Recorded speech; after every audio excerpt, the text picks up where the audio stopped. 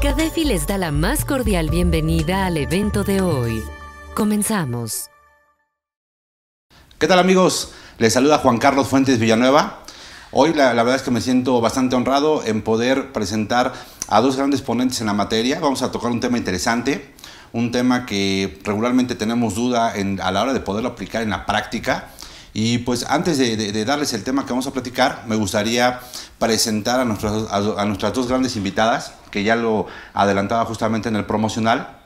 Eh, de primera instancia me gustaría darle entrada a, a la maestra Lérida Rodríguez, mi estimada Lerida, muchísimas gracias por haber aceptado la invitación y pues un placer estar contigo hoy en este foro. No, al contrario, el placer es mío. Muchísimas gracias por el espacio y pues por poder compartir también con toda la experiencia de, de la doctora y platicar sobre este tema. Muchas gracias. Así es, digo que, que aquí lo interesante es que va a haber, eh, eh, prácticamente va a haber dos cuestiones importantes. Eh, la maestra Lerida trae mucho la práctica en cuestiones donde estuvo trabajando dentro de la propia Prodecon, ahí este, con todo el ámbito de, de, todo el papeleo, de todo este proceso que se, que se realiza en el tema de los acuerdos conclusivos y también la maestra Mercedes Galaviz, que le doy la, la más cordial bienvenida, que viene en la parte práctica, pero de afuera del litigio, de, de, de ingresar con los clientes, este, este tipo de cuestiones. Maestra, eh, doctora, muchísimas gracias por aceptar la invitación. No, gracias a ti, Juan Carlos. Es un placer nuevamente estar compartiendo el foro aquí contigo en este programa y pues gracias por, por tenerme nuevamente aquí en tu programa. No, al, contrario, para mí es un placer nuevamente eh, tener a ambas y pues qué mejor que tocar este tema de acuerdos conclusivos y la PRODECON. Eh, dentro del proceso, eh, inclusive doctrinal como tal, hay una parte en donde se establece que eh, se, eh, hay una solución de conflictos previo a llegar a un tema de litigio.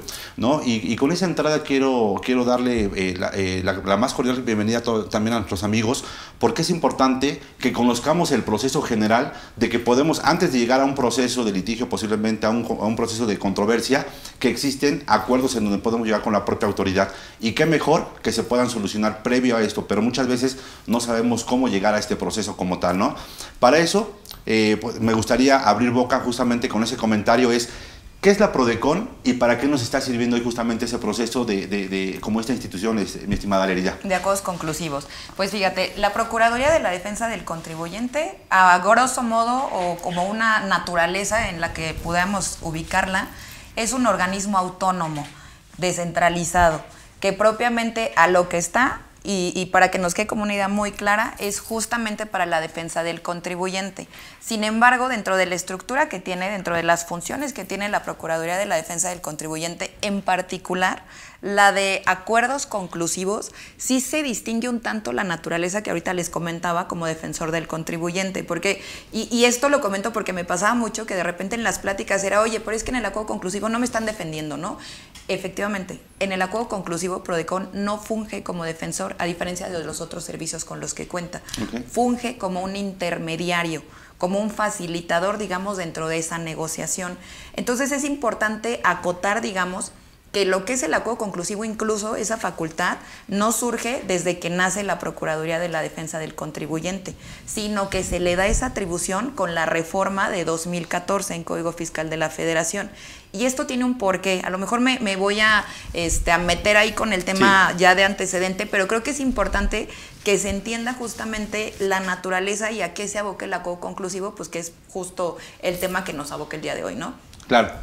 La PRODECON dentro de las facultades que tiene, una que, se considera como pues una de las perlas de la corona es el procedimiento de queja, que es donde funge como tal como el ombudsman fiscal, ¿no? Como el defensor de los derechos del contribuyente. Entonces, este ya es un mecanismo alternativo que permite de alguna manera solucionar conflictos o buscar alternativas de solución. Sin embargo, e, era el, el abanico muy, muy amplio de las problemáticas que atendía. ¿Y qué es lo que pasaba? Que en el procedimiento de quejas estaba quedando corto ya para atender las problemáticas que había exclusivamente okay. en facultades de fiscalización. ¿Por qué? Porque acudía un contribuyente y en la práctica lo que decía es, oye, yo ya aporté todos mis elementos de prueba en la visita domiciliaria, toda la información y la autoridad no la está valorando debidamente. Entonces, en el procedimiento de queja se le puede requerir un informe a la autoridad. Se le requería y le decíamos, oye, autoridad, ¿Qué valoración estás haciendo? ¿Qué consideraciones tienes de esta documentación? ¿Por qué no está siendo suficiente? Y la respuesta, porque es un plazo de tres días que tiene la autoridad en el procedimiento de queja para contestar, básicamente era, ¿sabes qué? Yo estoy en tiempo de hacer la valoración y en todo caso el análisis final lo vas a ver pues cuando concluya, en la resolución. Pues sí, pero cuando concluya con la resolución que pasaba, que ya teníamos una determinante de crédito. Entonces era un escenario completamente distinto el estar dentro de facultades a cuando ya teníamos una determinante de crédito con todas las complicaciones que se genera. ¿Qué es lo que pasa? Que se advierte la necesidad, y no nada más por parte de Prodecon, sino fue una necesidad incluso que también advirtió el propio Servicio de Administración Tributaria de decir, oye, pues qué tanto estoy ganando ya en litigio los créditos, realmente cuándo estoy recaudando, después de cuánto tiempo de estar en litigio. Y por otra parte, desde la perspectiva de Prodecon fue qué consideración hay en una situación tan sensible para el contribuyente de que realmente se solucione ese conflicto con la autoridad. Entonces es como tal que dentro de ese análisis pues surge esta figura del acuerdo conclusivo, que de hecho toma mucho de los puntos del procedimiento de queja, como esas reuniones que hay con, con la autoridad, el solicitarle el informe, pero con otras adiciones, otros beneficios adicionales que realmente buscan que dentro de este procedimiento, que va exclusivamente para solucionar conflictos dentro de facultades de comprobación, realmente se logre ese objetivo. Entonces, eso es básicamente como el antecedente y la naturaleza y el papel como tal que funge Prodecon en los acuerdos conclusivos. Perfecto, pues muy bien, yo creo que ya nos dices un, un, panorama general justamente sobre este antecedente, el por qué se genera el tema del acuerdo conclusivo. Sin embargo, creo que uno de los problemas principalmente que hemos tenido eh, al, al, poder justamente ejecutar estos acuerdos conclusivos es el desconocimiento, ¿no? Y eso sucede porque no sabemos qué hacer o cómo iniciar justamente ese, proceso, este, doctora. Dentro de ese, de, ese procedimiento para podernos acercar a generar justamente el acuerdo conclusivo, ¿cuál es su experiencia? Cuál, ¿Contra qué se ha topado al poder iniciar justamente este tema de, de solicitar un acuerdo conclusivo? Fíjate, Juan Carlos, que en la práctica el contribuyente primero desconoce las facultades que tiene la PRODECON y conoce las etapas y los tiempos para poder eh, llevar a cabo un acuerdo conclusivo, ¿no? Y obvio, pues el contribuyente no es el experto, nosotros somos los expertos y en esa, en esa tesitura, bueno, pues tenemos que explicarle al contribuyente en dónde cabe, ¿no? Porque pues eh, Prodecon, digo, sus plazos son distintos a los nuestros del contribuyente. Ellos dicen, bueno, pues tú puedes meter un acuerdo conclusivo incluso cuando tengas la resolución. Sin embargo, yo desde mi experiencia y, y de acuerdo a los que he llevado, que han sido como unos 20 seguramente, en los últimos años es ya muy recurrente que uno como, como asesor le diga al contribuyente, mira, tienes esta alternativa y en tal momento. ¿no? Yo desde mi punto de vista veo que eh, es una forma de ofrecer pruebas ¿no? en, en, la última parcial o en el oficio de observaciones. Es donde yo siempre lo meto. ¿Por qué?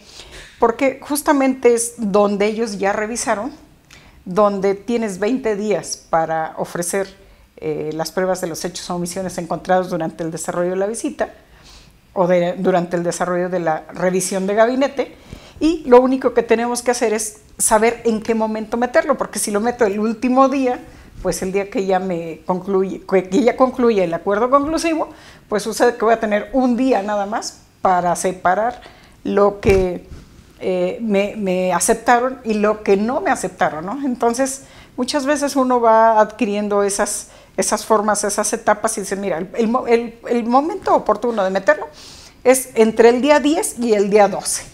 ¿Por qué?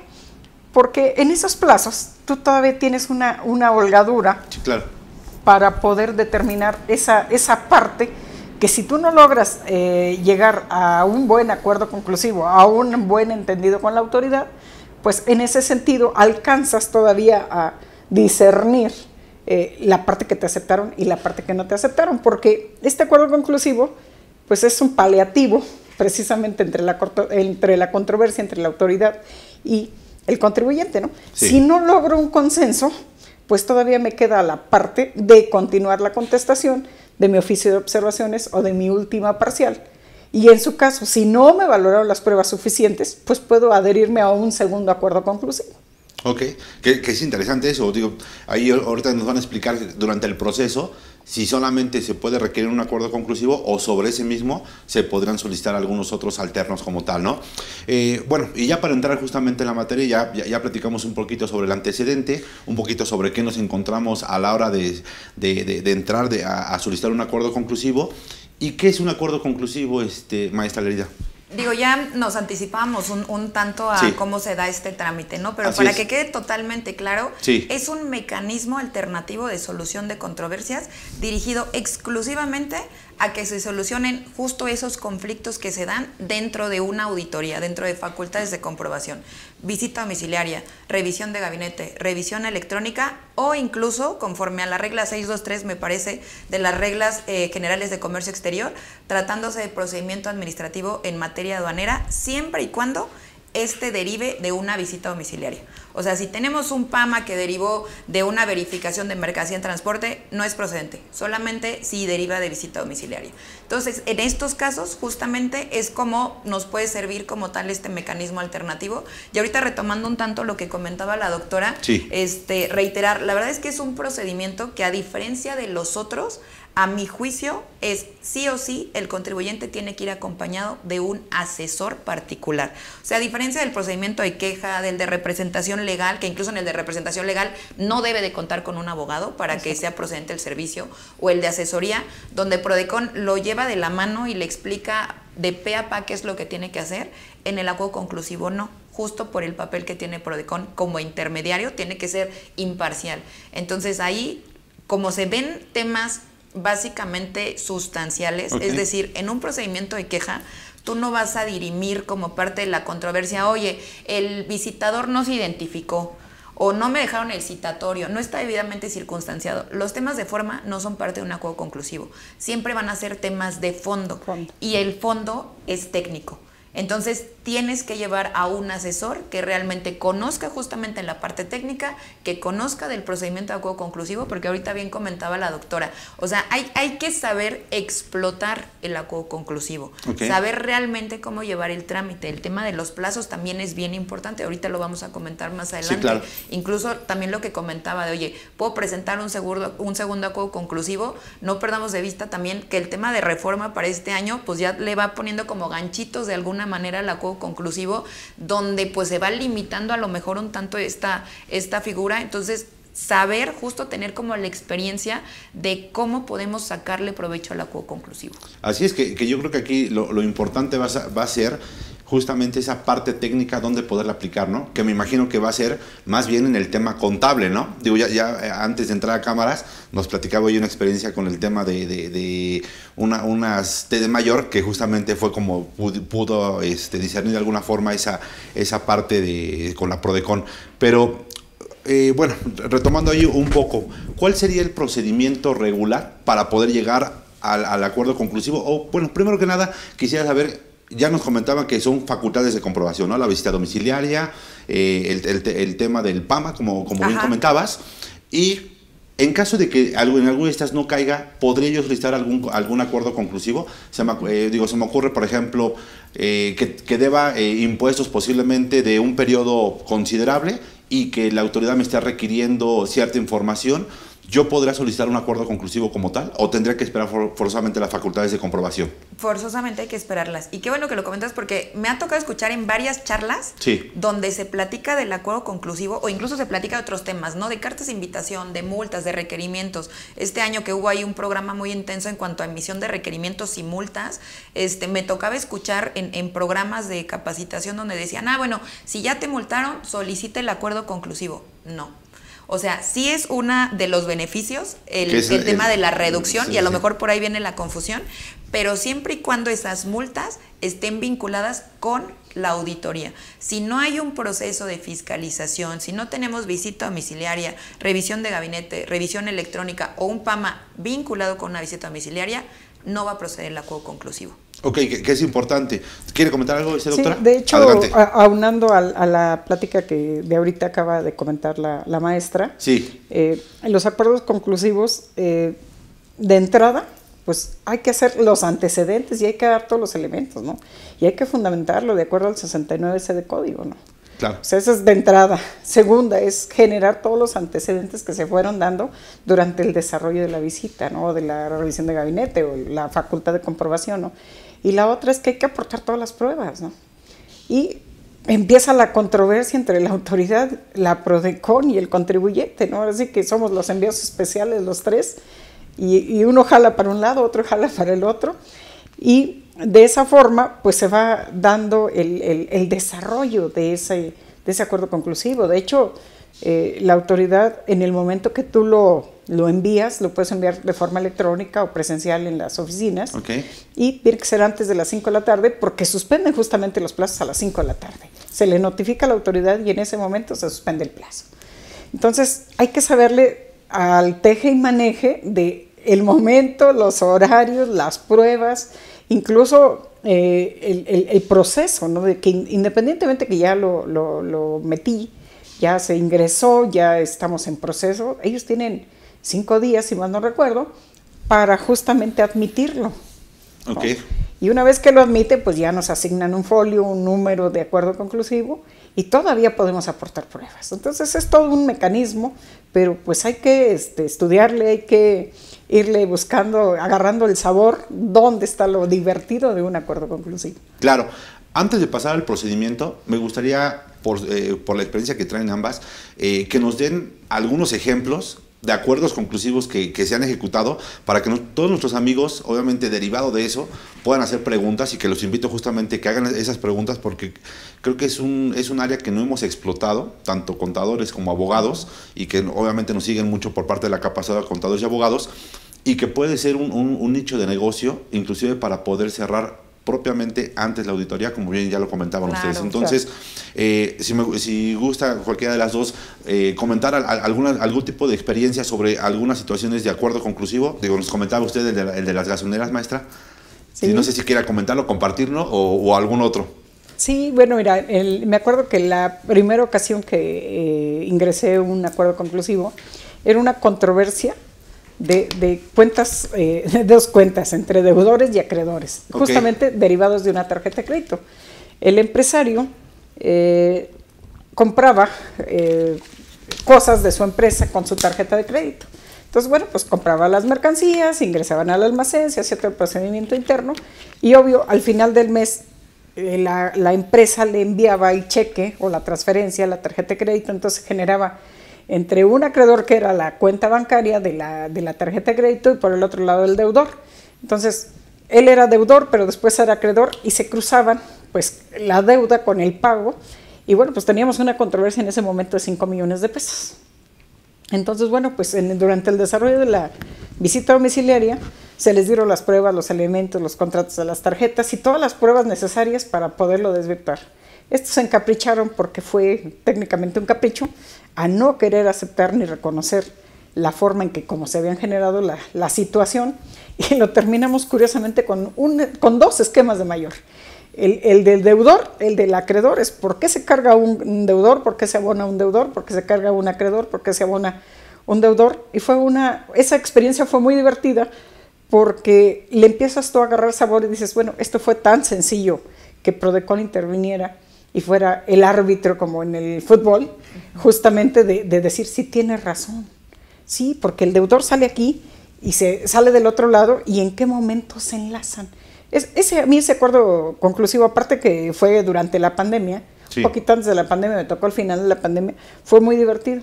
Y tan divertido que logramos en una, llevamos dos meses de trabajo y en una de ellas, eh, en un PowerPoint, ilustramos justamente los esquemas. Y en otro PowerPoint fuimos viendo el secuencial de los cargos y los abonos. Okay. Entonces, justamente al terminar la mesa de trabajo, pues terminaron aceptando que efectivamente tenía yo razón. Y fueron 5 millones que nos quitamos. No era tanto los 5 millones, sino es que también ahí de beneficio, pues tienes la, condonación de, las multas. Claro. El 100% de las multas. Que, creo que es uno de los grandes beneficios que ya platicaremos. Eh, precisamente cuáles son los beneficios de poder optar por el tema del, del acuerdo conclusivo, que uno de ellos es justamente el tema de evitarte irte al litigio y pagar honorarios seguramente. Dos, el, tema de las reducciones. Algunos otros beneficios que tú detectes. Este, la garantía, por ejemplo. La garantía del crédito fiscal, ¿no? O sea, sí, sí hay que ser como totalmente conscientes. Si ya estamos en una auditoría, pues para cualquier contribuyente ya es un motivo de no dormir, ¿no? O sea, cualquier contribuyente le inicia una auditoría y dice, ya no voy a dormir de aquí a que concluya. Pero imaginémonos peor cuando ya nos dijeron, no, y ya te determiné X cantidad, y de repente las cantidades, híjole, pues realmente no atienden a la capacidad del contribuyente, ¿no? ¿Por qué? Porque juegan en contra, pues, determinaciones presuntivas de ingresos que pudieran no estar reflejando la, la realidad. Por ahí un tema que platicamos hace un momento, oye, ¿qué pasó si dupliqué comprobantes fiscales? El ingreso no lo tuve. O sea, es un problema de forma, y te van a determinar un impuesto sobre esos montos que realmente no reflejan la capacidad contributiva del contribuyente, ahí sí está de verdad para perder el sueño totalmente. Entonces, no estamos en la misma situación aún de tener un crédito. Beneficios. Primero, la suspensión de los plazos. Y la suspensión de los plazos hasta por tema estratégico funciona. O sea, ya comentaba hace un momento la doctora, pues yo lo presento antes de que venzan los 20 días. ¿Por qué? Porque ya dentro de todo el acuerdo conclusivo me voy a dar una idea de realmente cuál es la postura de la autoridad qué está considerando, qué está valorando, si de plano no se va a mover y me voy a tener que ir a un litigio. Incluso en el peor de los escenarios en el acuerdo conclusivo, que es concluye con un acuerdo de cierre, yo ya tuve una idea de la postura de la autoridad, sus argumentos, su valoración, que me van a servir totalmente para la defensa. O si puedo reducir algo, no va a ser lo mismo pagarle a un abogado los honorarios de un crédito de 10 millones que de uno de 5 millones. O tener que garantizar, ¿no? Ofrecer una garantía para tramitar el juicio y que se suspenda la ejecución por 10 millones que por 5 millones. Entonces, todos esos son beneficios. Y el de la reducción de las multas, que yo creo que es como el plus que tiene el acuerdo conclusivo. Pero incluso en el tema de reducción de las multas, que el beneficio es 100%, en el primer acuerdo conclusivo, digamos que se suscriba y que se haga uso del mismo. Entonces, lo comento porque, porque aquí ya en, el tema eh, de la práctica, hay que saber hacer uso de la figura. ¿A qué me refiero? Si yo tenía unas observaciones que llegaban a una cantidad de 10 millones y las multas de alguna manera van a ir correlacionadas a ese monto de impuestos omitidos, entonces mis multas pueden ser elevadas. ¿Qué pasa si en la tramitación logro desvirtuar el 80% de esa cantidad? y me queda un 20%. Entonces ya no son 10 millones, son 2 millones. Las multas, como es desvirtúa, en automático se eliminan, ¿no? Entonces lo que me van a determinar de multas ya no es lo mismo a lo que me estaban observando. ¿Qué pasa si yo hago como un análisis y digo, ¿sabes qué? Que yo no quiero perder el beneficio de la reducción y prefiero pagarlas. Entonces, aunque se suscribe ese acuerdo conclusivo, si el contribuyente opta por pagar las multas, todavía tiene el derecho a que si en otra auditoría solicita el acuerdo conclusivo y se suscribe, entonces pueda solicitar la, la reducción. Ojo, la reducción siempre va a ir vinculada con regularización, siempre. Es decir, si yo de ese 100% ya desvirtué 80%, es decir, las observaciones de la autoridad estaban mal, me queda un 20% y entonces en este escenario sí quiero que me apliquen la reducción. Ok, quiere decir que por ese 20% yo me voy a regularizar. Voy a pagar el impuesto histórico, recargos, actualizaciones, pero no voy a pagar las multas. Y por ejemplo, tratándose de materia de comercio exterior, donde las multas se van al 150%, por ejemplo, del impuesto emitido, por supuesto que nos beneficia. Es más de multa que de impuesto. Y por ejemplo, ahí podría en el acuerdo conclusivo, doctora, podría entrar un, un periodo de plazos, por ejemplo, que te dijeron, oye, ¿sabes qué? Puedes pagar a plazos, como, como en, este, se podría establecer en algún otro convenio que se puede llegar con la autoridad, o, de plano es ahí liquidar el 100%. No, mira, Juan Carlos, en el acuerdo conclusivo depende la valoración. Yo, desde mi punto de vista, eh, mi sentir es que tengo dos oportunidades de poder desvirtuar. Una, en el acuerdo conclusivo, justamente, logro desvirtuar lo más que pueda y llegar al mejor consenso. Y a lo mejor acepto el acuerdo conclusivo parcial por ciertas partidas. Ok, sí acepto estas, pero estas no, no me autocorrijo. Entonces, ¿a dónde me voy? A que recibo ese beneficio, que es mi primera opción, Y segunda, me voy a darle la continuidad al oficio de observaciones o a la última parcial y lo vuelvo a ofrecer y lo tienen que valorar. Si de ahí no logro desvirtuar eh, gran cosa o todavía lo desvirtúo, pues tengo una segunda oportunidad de poderle pegar nuevamente a ese beneficio o a esa oportunidad de demostrarle a la autoridad que realmente tengo razón, ¿no? Y obvio, la autoridad te dice, ok, ¿te adhieres al acuerdo conclusivo? No, pues que sí, ¿no? Ok, tu condonación es el 100% de las multas, pero hay la actualización y los recargos y en una sola exhibición. Y tienes también muy poco plazo, porque en realidad tienes dos, tres días para, para autocorregirte. ¿no? Y muchas veces las empresas no lo tienen. Entonces, hay, hay que ver, eh, conforme va avanzando el acuerdo conclusivo, tú vas viendo con tu contribuyente cómo vas, en qué término vas, cuál se adelanta, cuál se atrasa y cómo lo vas manejando, porque hay un momento que ahorita, por ejemplo, en esta reforma, pues ya un acuerdo conclusivo no se puede eh, pasar más de seis meses. En, en, el caso de la pandemia tuve yo un asunto donde me llevé dos años, justamente, larguísimo. Pero ¿qué crees que recibimos muy buenos beneficios? En aquel momento, en ese asunto, era eh, una controversia que la autoridad extendió facultades de comprobación a una persona física con siete actividades, imagínate, como física. Entonces tenía eh, A, B, C, D, ¿no? Actividades físicas. Claro. Y entonces la contadora estaba muy chavita y era su primera experiencia con una visita domiciliaria y llega con sus carpetas de las siete actividades juntas, la A, la B y la C, y la autoridad muy abusiva le dice, este, oye, te las acepto, pero tráemelas separadas por actividad. La chavita inexperta le dice, oye, ¿cuántos días tengo justamente para, para entregártelas así en las condiciones que tú, tú pides, ¿no? Y, le dice la autoridad, el tiempo que tú quieras, tú las traes cuando las tengas. La chavita dice, bueno, pues en 15 días. A los 15 días llega con sus carpetas le dicen, qué lástima, estás fuera de lugar. Ya se te pasaron los plazos. Y se llevan la revisión, la, la visita domiciliaria, pues solita, sin deducciones, 37 millones de no no considerados porque no se ven ofrecidos. Y rechazados. Y ahí ante eso, ¿qué se, qué se, yo digo, ¿qué ahora sí que se hace, no? O sea, ¿qué se puede hacer? Entonces yo llego como asesora y le digo, bueno, pues esto está muy mal. Y aparte que ya tenían muy poquitos tiempos, de un miércoles para un martes, imagínate. Le digo, mira, mira, yo de entrada lo que haría es meterme en acuerdo conclusivo porque por lo menos ahí los ofrezco.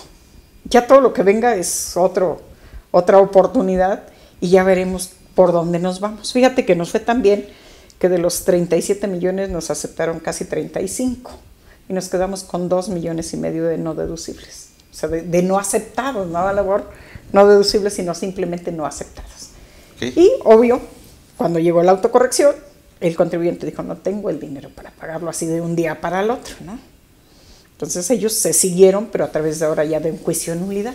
Pero bueno, la entrada, lo que te quiero comentar es que el resultado fue óptimo. De 37 a quedarte con 2 millones y medio, haciendo, haciendo el ejemplo de la maestra, pues justamente fue excelente. El resultado fue óptimo. Que ellos ya no tuvieran la, cantidad para poder eh, autocorregirse, eso fue otra historia, pero nos fue muy bien, ¿no? Claro, que, la verdad es que son de las cosas que, se desconoce de este lado por no atender o por no por desconocer cuál es el procedimiento real y cuáles son los beneficios, ¿no? Fíjate, me, llama mucho la atención el tema del interés, eh, de la garantía, ¿no? Digo, hoy por ejemplo con el tema de, del bloqueo de cuentas ya inclusive por medio de buzón tributario, eh, inclusive por ejemplo me han tocado de que ya la autoridad ya dice, ¿sabes qué? Eh, puedo, puedo ir a, hacerte la notificación de manera personal o simplemente por medio del buzón te bloqueo las cuentas bancarias y te congelo las cuentas. Y luego ni por buzón, ¿eh? O sea, me ha tocado casos que ya, porque no pudieron hacer movimientos, cuando tendría que estar la notificación. Exactamente. Y no está. ¿no? Entonces creo que son de los beneficios que bien podremos acogernos con, con el ánimo de poder solucionar gran parte, ya, ya lo decías, oye, a ver, si traigo un crédito fiscal o, o unas observaciones sobre un tanto, puede ser que desvirtúe gran parte de, ese, de, esas aportaciones y me quedarme con una parte y darle por medio de juicio de unidad, que es lo que entiendo aquí con lo, con lo que explican. ¿Cuál sería el procedimiento? Entonces, me apego al, al, al propio convenio o, al propio acuerdo como tal y, el, y la siguiente parte, por lo que no llega al acuerdo, ¿cuál sería el procedimiento? ¿Darle juicio de nulidad? ¿Alguna, alguna revisión? ¿Cuál sería el, procedimiento? Tenemos este, las instancias, digamos, legales normales, ¿no? Nada más quería, quería regresarme tantito para Sí, adelante. Porque sí es importante que tengamos como claros los beneficios. O sea, a lo mejor ahorita nos estamos yendo como a, los que están regulados para el acuerdo conclusivo, ¿no? La reducción de, de las multas. Pero hay otras figuras dentro del propio Código Fiscal de la Federación que no están peleadas con el trámite del acuerdo conclusivo. O sea, del tema de parcialización sí se puede parcializar, sí se puede solicitar la parcialización por las contribuciones que naturalmente se parcializan. O sea, si vamos a querer parcializar IVA, no se puede. la, limitante está en el, en el propio Código Fiscal de la Federación. Por ICR se puede solicitar la parcialización y ojo, ahí incluso hay una cláusula especial que se incorpora en el acuerdo conclusivo, donde se dice, ok, eh, quedaron las partes, porque aquí además es importante considerar, perdón si de repente me salto, pero es que es como mucha información, se nos okay. que platicar todo. La auditoría al final del día es con la administración justamente desconcentrada, supongamos la, la en su mayoría, de auditoría fiscal de X estado, ¿no? Lo que es el tema de pago, parcialización, incluso otro tema de beneficio, reducción de multas en términos de 74, de 70A de Código Fiscal de la Federación, no es con auditoría, me tengo que voltear con recaudación. Entonces, incluso también dentro del acuerdo conclusivo nos vamos a voltear con recaudación para decir, oye, es procedente que se aplique esta facilidad, es procedente, ¿no? Si se cumple con los requisitos, va para adelante. Entonces se puede parcializar y en la cláusula se va a establecer justamente eso. Oye, hubo un acuerdo con, con recaudación donde efectivamente se autorizó la parcialización de este monto de impuesto sobre la renta, ya cubrió X cantidad a esta fecha y se condiciona que subsista en este caso la reducción de la multa conforme a lo que regula 69G del Código Fiscal de la Federación, es decir, la reducción que da a conclusivos, a que se concluyan esos pagos. Si no se concluyen esos pagos, entonces se pierde el beneficio de la reducción. Pero sí es posible. Ahora, del tema de reducción, como es un beneficio bien importante, también ahí hay que, hay que hacer como una ponderación. Oye, ya hubo una reducción simplemente porque desvirtué partidas y me quedó X monto. No quiero aplicar el beneficio de, eh, de acuerdos conclusivos. ¿Qué opciones tengo? Solicita el 74 solicita la reducción del 74. ¿Se puede? Claro que sí. Si recaudación la autoriza, adelante. Y se establece la cláusula como tal en el acuerdo conclusivo de que la reducción que se aplicó fue la de 74 y no la de 69G. ¿Qué beneficio me da eso? Que si después hay otra auditoría donde de plano no hay consenso y me voy a regularizar este, y mis multas están elevadísimas, ahí aplico entonces el beneficio de reducción de acuerdo conclusivo que, aquí básicamente el procedimiento sería el normalito, meterlo por medio de la página del SAT con el escrito y eh, requiriendo obviamente la reducción de la multa con el procedimiento que comentas, ¿no? se cumplen los requisitos tal cual del 74 o de 70, que el 70, por ejemplo, además te da el beneficio de, los recargos por prórroga. Entonces, hay que hacer como ese análisis para ofrecerle el abanico de posibilidades al contribuyente y saberle decir, porque muchas veces el contribuyente es como lo que tú me digas, ¿no? Yo voy a hacer lo que tú me digas. Si quieres la de la del código fiscal, digo, la de acuerdos conclusivos, pues la de acuerdos conclusivos. Pero si le podemos ahorrar ese cartucho, digamos, pues se lo ahorramos, se lo ahorramos, ¿no? Entonces es verificar eso en el caso de que quiera aplicarlo. En el caso que comentaban hace un momento, oye, eh, pues ya hubo un consenso parcial donde sí desvirtuó X monto, pero por el remanente pues nos vamos a ir a, juicio. Quedan salvaguardados su derecho para acudir y ya es un tema de ponderación. Incluso, por ejemplo, si no aporté como el, total de elementos probatorios, pero están aportados dentro del acuerdo conclusivo y da el monto, me puedo ir también a un juicio de resolución exclusiva de fondo donde forzosamente van a tener que valorar la información y la documentación que yo aporté en el acuerdo conclusivo. en el entendido de que bien comentas que regularmente en el acuerdo conclusivo se ven cuestiones de fondo. Exactamente, exactamente. Entonces, tenemos esa alternativa. Tenemos el recurso de revocación, que en caso de que se pierda nos podemos ir también al tradicional, ¿no? Al juicio contencioso este, tradicional. Tenemos todas esas posibilidades. O sea, no está peleado, que eso también es como de los grandes beneficios que tiene. Te va a dar tiempo, te va a dar la posibilidad de aportar nuevos elementos, de aportar más información, de tener interlocución con la autoridad. Pero además, si al final del día no hay un consenso o hay un consenso parcial, por la parte que se determine el crédito, tú tienes salvaguardado tu derecho para agotar las instancias jurisdiccionales. Que, aquí me llama la atención porque, fíjate, va de la mano, ¿no? El acuerdo conclusivo no, no te da garantías y si te mandas directamente a un juicio exclusivo de fondo, pues tampoco tienes, no, no, no, tienes que dar ninguna garantía por el tema, y siempre cuando sea la, la cuantía, que ahí no, recuerdo cuál es la cuantía, son arriba de 5 o 6 millones. de 5 millones. 5 millones. Exactamente. Entonces, este, digo, está interesante porque al final te va llevando de la mano y no tienes que estar garantizando el interés del crédito fiscal, ¿no? Entonces, es, está interesante. ¿Quiere comentar algo más adelante? Sí, lo, que sucede es que nos va a dar dos oportunidades de demostrarle a la autoridad que tengo las pruebas. Lo único, la, la única ventaja es que no puedo, la mayoría de, las, de, los, este, de los asesores, eh, por flojera, a veces hacen el, mismo acuerdo conclusivo en la misma contestación de, de en el momento de, de aportar las pruebas en el oficio de observaciones en la última parcial. Entonces lo único que hacen es cortan y pegan. Y en el momento que lo, lo ve la autoridad de esa forma, te van a batear porque te van a decir, viene exactamente igual y eso ya es materia este, analizada en el acuerdo conclusivo. ¿no? Entonces sí lo que tenemos que hacer es variarla. Porque si yo me voy igualito, no me van a valorar. De hecho, te advierten en el momento en que eh, se suscribe ya el acuerdo conclusivo, te dicen, ya no hay contestación a oficio ni a última parcial. Este ya se considera como tal. Entonces, muchas veces, eh, pues los apanican, los espantan y dicen, bueno, pues sí, efectivamente, pues ya no me lo van a valorar, ¿no? Y el contribuyente te dice, no, pues justamente como dice la maestra, pues, ¿qué me dice? ¿Qué, qué hacemos? ¿Qué hago? no? Entonces se apanican, se espantan y dicen, no, no, espérame tantito, o sea, no es si quieres o no quieres, o sea, sencillamente es, lo voy a aportar y lo tienes que valorar nuevamente. Ok, pues eh, ¿cuál ¿hay algunos requisitos especiales para poder justamente eh, apegarme a este acuerdo conclusivo o, este, o simplemente en el momento en yo meto algún escrito? O sea, ¿cuál sería el procedimiento ya para justamente ingresar este, esta, esta parte del acuerdo conclusivo? Perdón. Digo, eh, previo a, hay que considerar, diría yo, el tema de oportunidad. Antes de que nos vayamos a lo mejor a, señalar cada uno de los requisitos, el tema de oportunidad es bien importante. ¿Por qué? Porque para, para, 2021 hubo una modificación.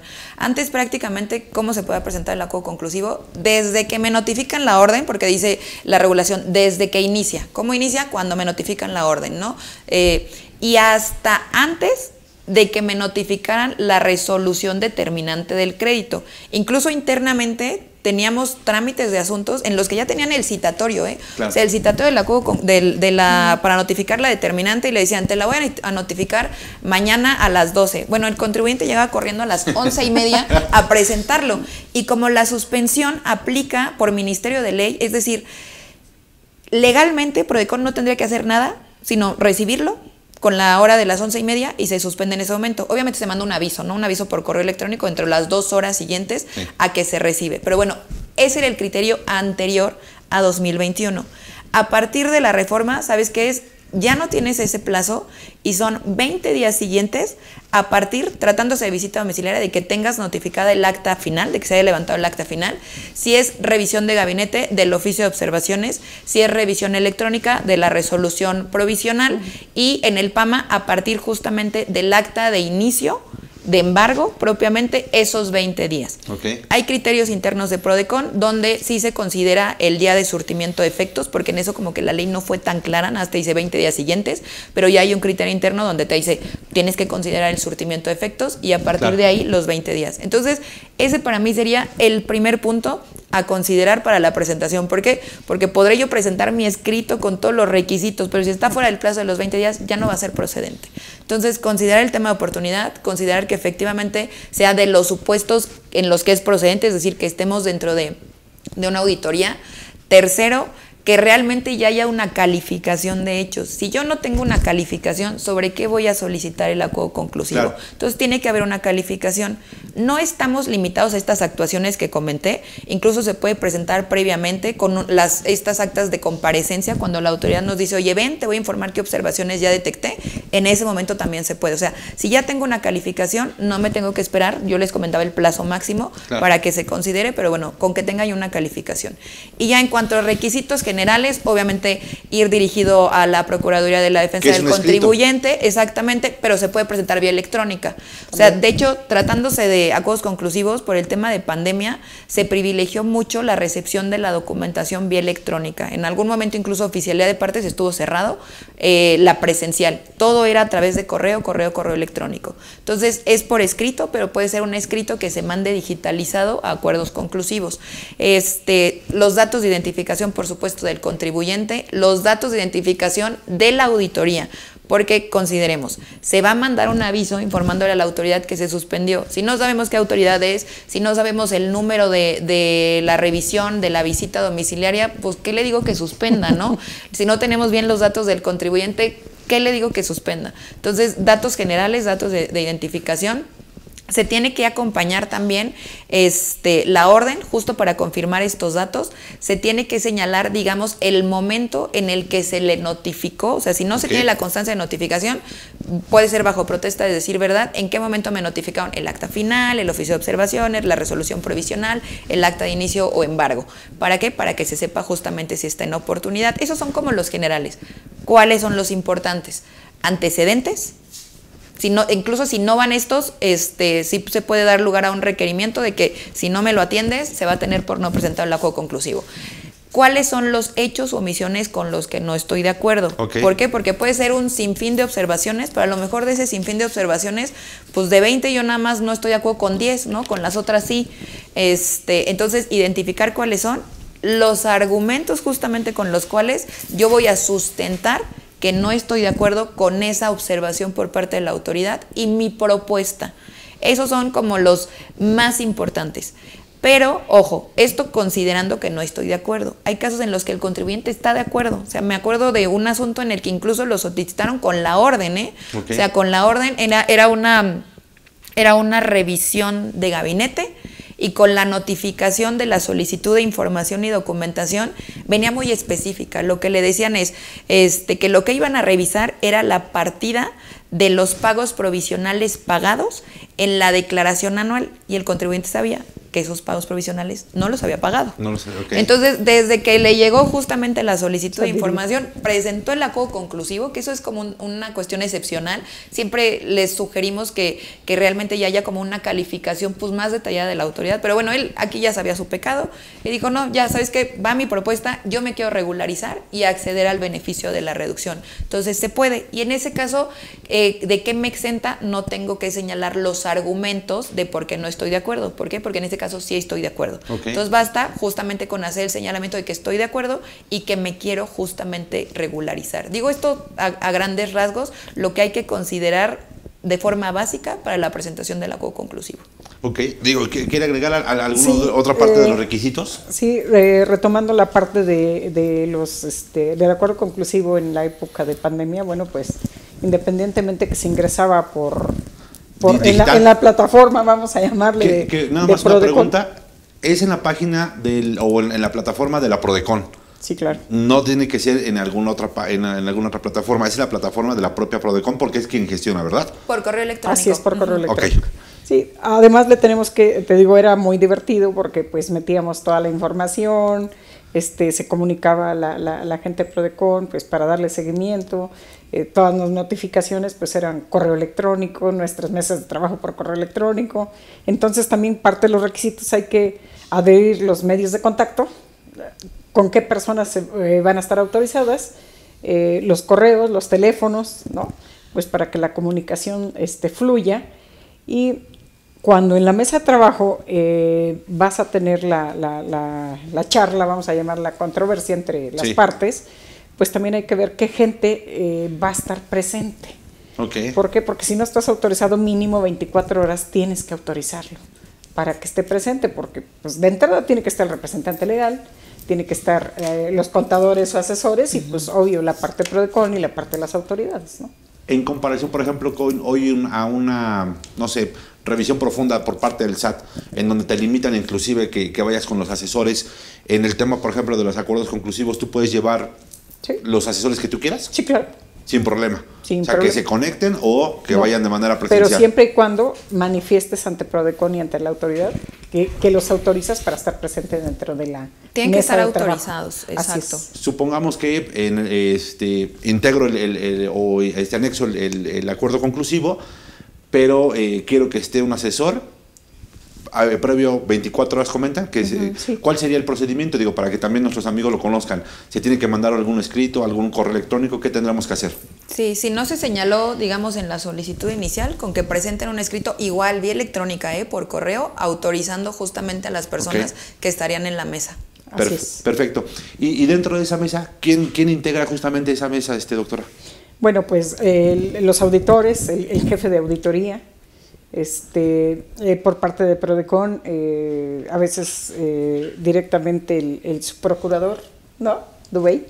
Eh, en su caso, eh, la- las personas que tienen a su cargo el, acuerdo conclusivo y bueno, pues por parte de la empresa, de entrada el, representante legal y sus asesores o sus contadores, ¿no? Ok, ahora, ¿a qué- ¿hacia qué, ¿hacia qué autoridad podemos aplicar el acuerdo conclusivo? ¿Quiénes son las autoridades a quienes podríamos aplicar un acuerdo conclusivo? Digo, Ah, hay- bien hay- importante comentarlo porque ahorita a lo mejor no estamos abocando mucho al servicio de administración tributaria, ¿no? Claro. Que ahí pues tenemos a quienes en todo caso realizan fiscalización de grandes contribuyentes, de hidrocarburos, las desconcentradas de auditoría propiamente, ¿no? Son cliente número uno. ¿Por qué? Pues porque son las que más fiscalizan. Pero también procede, por ejemplo, en contra de, ah, bueno, no en contra, o sea, también se pueden sumar en este procedimiento las autoridades coordinadas, ¿no? De cada una de las entidades cuando justamente hacen estos procedimientos de fiscalización derivado de los acuerdos de colaboración que se tienen con Hacienda Federal, también es procedente. Incluso también con las facultades de fiscalización de IMSS o de Infonavit es procedente. Pero además, por ejemplo, de Conagua. O sea, Conagua también realiza verificaciones donde pueden determinar derechos, por ejemplo, por el pago de descargo de aguas, también es procedente el acuerdo conclusivo. Entonces, siempre y cuando sea una facultad de comprobación de las que están reguladas en 42 de Código Fiscal de la Federación que hemos comentado, o un PAMA, es procedente el acuerdo conclusivo. Perfecto, digo, yo- yo- hay que dejarlo claro porque nos, eh, ahora sí que tenemos en mente nosotros que somos contadores únicamente el SAT, pero, sí, pero que podría viene, ser. la cabeza. Exactamente, y por ejemplo a mí se me viene a la cabeza también el Seguro Social. Exacto. ¿no? Que, que podría ser también Hasta alguien el con- Infonavit. hasta el propio Infonavit que también ya, ya, ya, este, ejecuta y hace ahí varias cuestiones interesantes. Que hay algo ahí bien interesante Sí. con el IMSS, por ejemplo, porque cuando hablamos de suspensión de plazos, se suspenden los plazos propiamente de las auditorías, pero además de caducidad. Entonces, por eso les da como un respiro muy importante a las autoridades que dicen, ok, pues me puedo tardar a lo mejor un poco en hacer un mayor análisis, en que me manden otra información, en, en que me estén aportando documentos, porque se suspende el plazo. Sin embargo, en particular, tratándose del seguro social, no suspende el plazo de caducidad. Entonces, ahí ojo, porque ¿qué pasa con el Seguro Social? Que inician facultades en el año cuatro y medio y entonces, pues sí está suspendido a lo mejor los plazos de la auditoría por el acuerdo conclusivo, pero no el de caducidad. Entonces, este, ahí ojo, o sea, si vamos a presentar un acuerdo conclusivo de alguna manera tratándose del IMSS, sí buscar que ya vaya como totalmente integrado. Aparte, consideremos que ahorita, prácticamente a partir de la reforma de 2022, vamos contratiempo. ¿Por qué? Porque ese acuerdo conclusivo se tiene que tramitar y concluir en máximo un año. Entonces, ahí... Es uno, es uno de los principios, ¿no? Que Sí. digo, si no, me equivoco, si no me equivoco, sería el principio de celeridad. ¿no? Celeridad, exactamente. Que tendrán máximo un, un año Un para año. poder concluir como tal el procedimiento completito. Exacto. Entonces ya Prodecon, la autoridad y el contribuyente actúan de alguna manera contratiempo.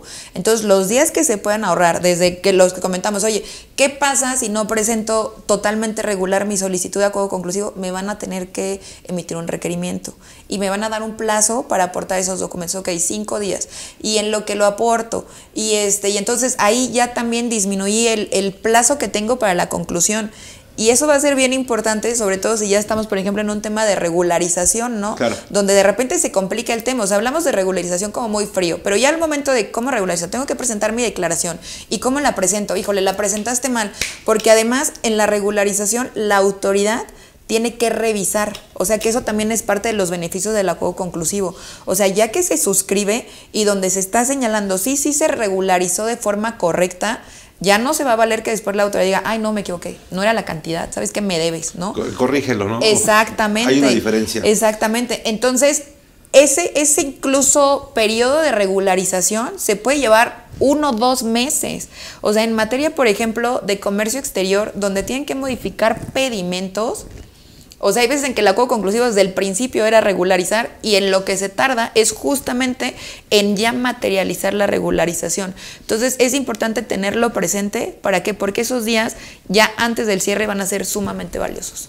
Ok, pues adelante doctora, adelante. Sí, eh, justamente la, la, maestra tocaba la parte de los tiempos en cuanto a las regularizaciones, ¿no? Porque empieza el estira y afloje. De, tienes que hacer esto, vas a acreditar, vas a compensar, vas a pagar, este, esto no procede, la actualización sí, la actualización no, entre que ellos te hacen una propuesta y entre que tú la aceptas y tú la revisas y empieza de aquí para allá a fluir la información, pues mínimo te van dos meses, así pero con la mano en la cintura. ¿Por qué? Porque los procedimientos técnicamente son muy cortos, pero el, lleva y trae información y llegar al consenso. Mira, te voy a platicar que en, una, en uno de los acuerdos conclusivos teníamos, era de una empresa de, lentes justamente, y traíamos 27 millones. Entonces logramos entre eh, descuentos, rebajas, bonificaciones, devoluciones y unas partidas que estaban mal contempladas por ellos, llegamos al, al final a pagar 500 mil pesos. Y de esos 500 mil pesos con actualización y recargos eran 1.206.000. Y lo de menos es decir, bueno, aquí están. El problema es, el, quítale esto, ponle el otro, mándamela antes de que, antes de que la envíes, eh, mándamela para revisión. No, es que no estoy de acuerdo.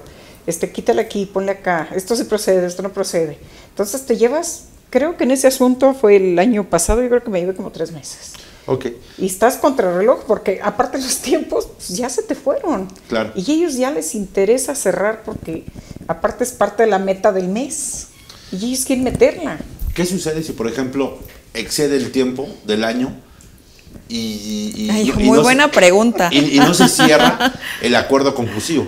Lo vamos a ver ahorita. Ok, digo, está, está viendo así vámonos con calma entonces. No te preocupes, yo lo he cerrado en dos años. Un acuerdo conclusivo. El problema es que la reforma empezó ahorita en 2022 y la reforma te dice, ya tienes tú un año a partir, en todo caso, fíjate, y ahí, ahí em, se trató todavía como que en los lineamientos de, de mm, aclarar ciertos puntos por salvar días, ¿eh? O sea, de no decir de que se recibió el acuerdo conclusivo, sino es como que se tiene por presentado. ¿Esto por qué? Porque incluso en tema de presentación son detalles, ¿no? Este, tenemos 20 días. Oye, ¿qué pasa? Pues se supone que, para efecto de realmente salvaguardar derechos del contribuyente, pues el día tiene 24 horas, pero el horario de oficialía son las 5 de la tarde. Entonces, ¿qué pasa si era el día 20 y ya son las 6 de la tarde? ¿Va a proceder o no va a proceder? Sí, sí. O sea, preséntalo a las 6, 7, 8, 9. Es más, hay un criterio de Prodecon que te dice, lo puedes presentar al día siguiente en la primer hora hábil. ¿Cuál es la primera hora hábil? De 9 a 10 de la mañana. Y se va a tener por presentado de forma oportuna. Ok. Entonces, eso es, eso es como bien importante. Entonces, tratándose justamente de salvar esos días, se dijo, no va a ser como de que se reciba porque le voy a tratar de dar ese día, ¿no? De que realmente se tenga por presentado. Entonces, eso, eso como punto uno. Pero esta reforma, o sea, realmente la consecuencia de que no se cierre pues la vamos a ver ahorita, o sea, el primero de enero. ¿Por qué? Porque aplicó justamente para los que están iniciando, pues a lo mejor los que se presentaron este año, pues va, a transitar su año completo. Claro. Pero los que se presentaron en 2021 y anteriores se tienen que concluir ahorita en diciembre. Entonces, ahí el tema es que la ley no fue clara. O sea, la ley te dice se tiene que concluir en 12 meses, pero no te dice cuál es la consecuencia. O sea, ¿qué va a pasar? Si en los, en los 12 meses está abierto ese acuerdo conclusivo. O sea, hay una caducidad especial, este, van a tener que cerrar pues con lo que con lo que esté, o sea, yo creo que ahorita justamente en Prodecon se debe estar trabajando así para que todos esos expedientes se concluyan sí o sí en diciembre. Dice Lerida, qué bueno que me salvé ya de... Y yo ya estoy fuera, ya, los veo de, afuera. Sí, exactamente, nada más riéndose, pero sí, sí, es interesante porque, digo, se, me ocurre que al final del día puede ser un beneficio para el contribuyente o puede ser un perjuicio para el contribuyente dependiendo qué es lo que se esté solicitando, ¿no? O, cuál sea el acuerdo que, al que esté llegando, ¿no? Porque puede decir la autoridad, ¿sabes qué? Pues paga de acuerdo al crédito fiscal o si realmente dale el beneficio al, propio contribuyente, ¿no? Digo, eso me ocurre, digo, es algo que tú o ustedes tengan un, este, un criterio distinto. O sea, el que, el que exista ya un plazo como tal y, y un plazo que además ahorita es pues un periodo de prueba, ¿no? O sea, no era un plazo al que estábamos acostumbrados. O sea, sabíamos que a lo mejor lo ideal, o sea, el acuerdo conclusivo está visualizado para que concluyan seis meses. O sea, esa era la meta de los acuerdos conclusivos. Sin embargo, sobre todo con grandes contribuyentes, pues hay asuntos que se toman su tiempo. O sea, yo cuando platicaba de acuerdos conclusivos les decía, no se sorprenda si la primera respuesta de la autoridad es no te acepto nada. Así es la mayoría de los acuerdos conclusivos. O sea, tú lo presentas y la primera respuesta es no. O sea, no a todo. Ok. El, el acuerdo conclusivo va madurando. O sea, va madurando. O sea, requiere un trámite, requiere ir teniendo esa interlocución, requiere ir aportando documentos. ¿Qué es lo que pasa ahora que ya tenemos un plazo? O sea, un plazo que no está acostumbrado Prodecon, que no está acostumbrado el contribuyente, que no está acostumbrado la autoridad. O sea, para todos es, pues ya estamos trabajando pues bajo presión, bajo, reloj, y la, el reto ahí es que no se pierda la eficacia. O sea, el problema es que la pandemia complicó todo. ¿Por qué? Porque de repente teníamos autoridades en las que todos estaban enfermos, o sea, todos tenían COVID, nadie estaba trabajando, ¿cómo te rindo el informe? Entonces era prórroga tras prórroga. Y lo mismo para el contribuyente. Oye, el representante legal, que es el único que puede firmar, está, hospitalizado. ¿Qué hacemos? Pues otra prórroga. Entonces el reto fue, ¿cómo vas a eficientar ese procedimiento para que realmente cumpla con su objetivo. O sea, el objetivo cuál es? Que se logren acuerdos, que se firme un acuerdo conclusivo. El objetivo no es que se emita un acuerdo de cierre, sino que haya consensos. Entonces, la consecuencia real, o sea, ahorita podemos especular qué va a pasar, los van a tener que cerrar, este, pasando los 12 meses a lo mejor había consensos, pero ya no se va a poder firmar el acuerdo conclusivo, entonces opera una caducidad especial y, y, y qué pasa con el derecho del contribuyente podemos especular, pero la realidad es que lo vamos a ver el primero de enero. El primero de enero. Exactamente. Y, ante eso, ¿habría alguna, eh, alguna situación que pudiéramos hacer de este lado, por ejemplo, ante esa situación de incertidumbre jurídica, porque al final no, no es clara la ley? Este doctor, ¿qué podríamos hacer? Digo, para que se vayan previendo todos aquellos los cuales les puede perjudicar esa situación, que creo que es lo importante, ¿no? Sí. Es que fíjate que depende de muchas cosas, ¿no? porque de repente la autoridad eh, son procedimientos muy largos, es demasiada información. Si de por sí en 12 meses, ¿no? Eh, eh, en el desarrollo de la facultad de comprobación, no valoraron correctamente, imagínate en un acuerdo conclusivo. ¿no? A mí me tocó participar en un asunto muy grande de una cadena de tiendas comerciales y era demasiada la información, que era, como dice la maestra, oye, necesito más plazo, es insuficiente el plazo que me estás dando, ¿no?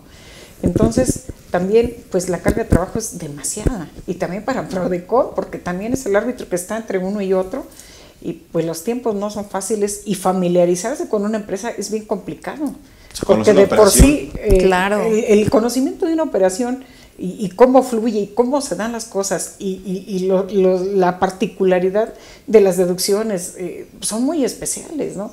Entonces, de por sí el auditor en 12 meses no alcanza a valorar las pruebas, los elementos. Imagínate que Prodecon de golpe y porrazo tiene que resolver en seis meses. O la autoridad tiene que volver a, valorar pruebas que le estás dando que en su momento dado se las ofreciste, pero a lo mejor por, por la premura no les dio la celeridad o la atención. Es muy complicado.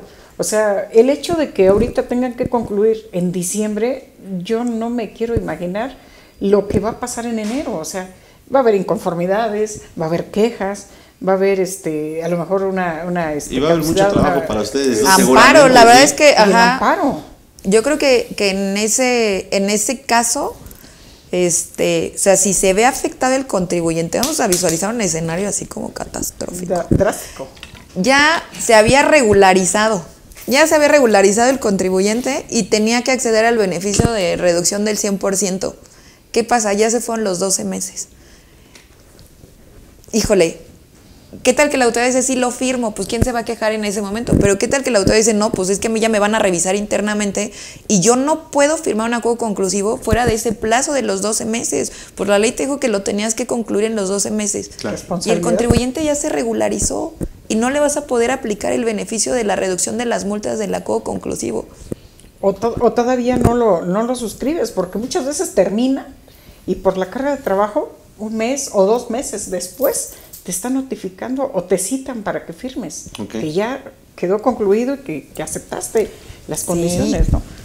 De hecho, también hay, hay, una cuestión que en la pandemia se quitaron oficinas de Prodecon y no había, por ejemplo, en el caso de, de Hidalgo, de repente llegamos al domicilio fiscal y pues la oficina estaba en renta.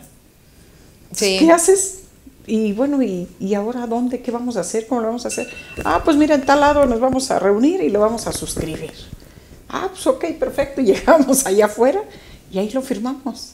O sea, también hay escenarios que de repente complican tanto la vida al asesor como la vida al contribuyente, ¿no? Ok. Que llegamos y así, oye, ya no están las oficinas, ¿qué vamos a hacer?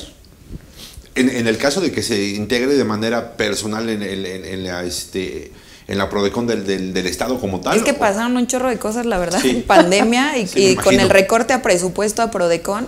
Que es pero, un tema interesante, ¿no? Sí, pero la verdad es que ahí mi total reconocimiento tanto a los equipos de delegaciones como por supuesto pues la, la supervisión y, y el apoyo que hubo de oficinas centrales porque el tema siempre fue visualizar no afectar al contribuyente. Entonces, no hay presupuesto y pues no tienes con qué pagar la renta, no tienes con qué pagar luz, no tienes con qué pagar internet.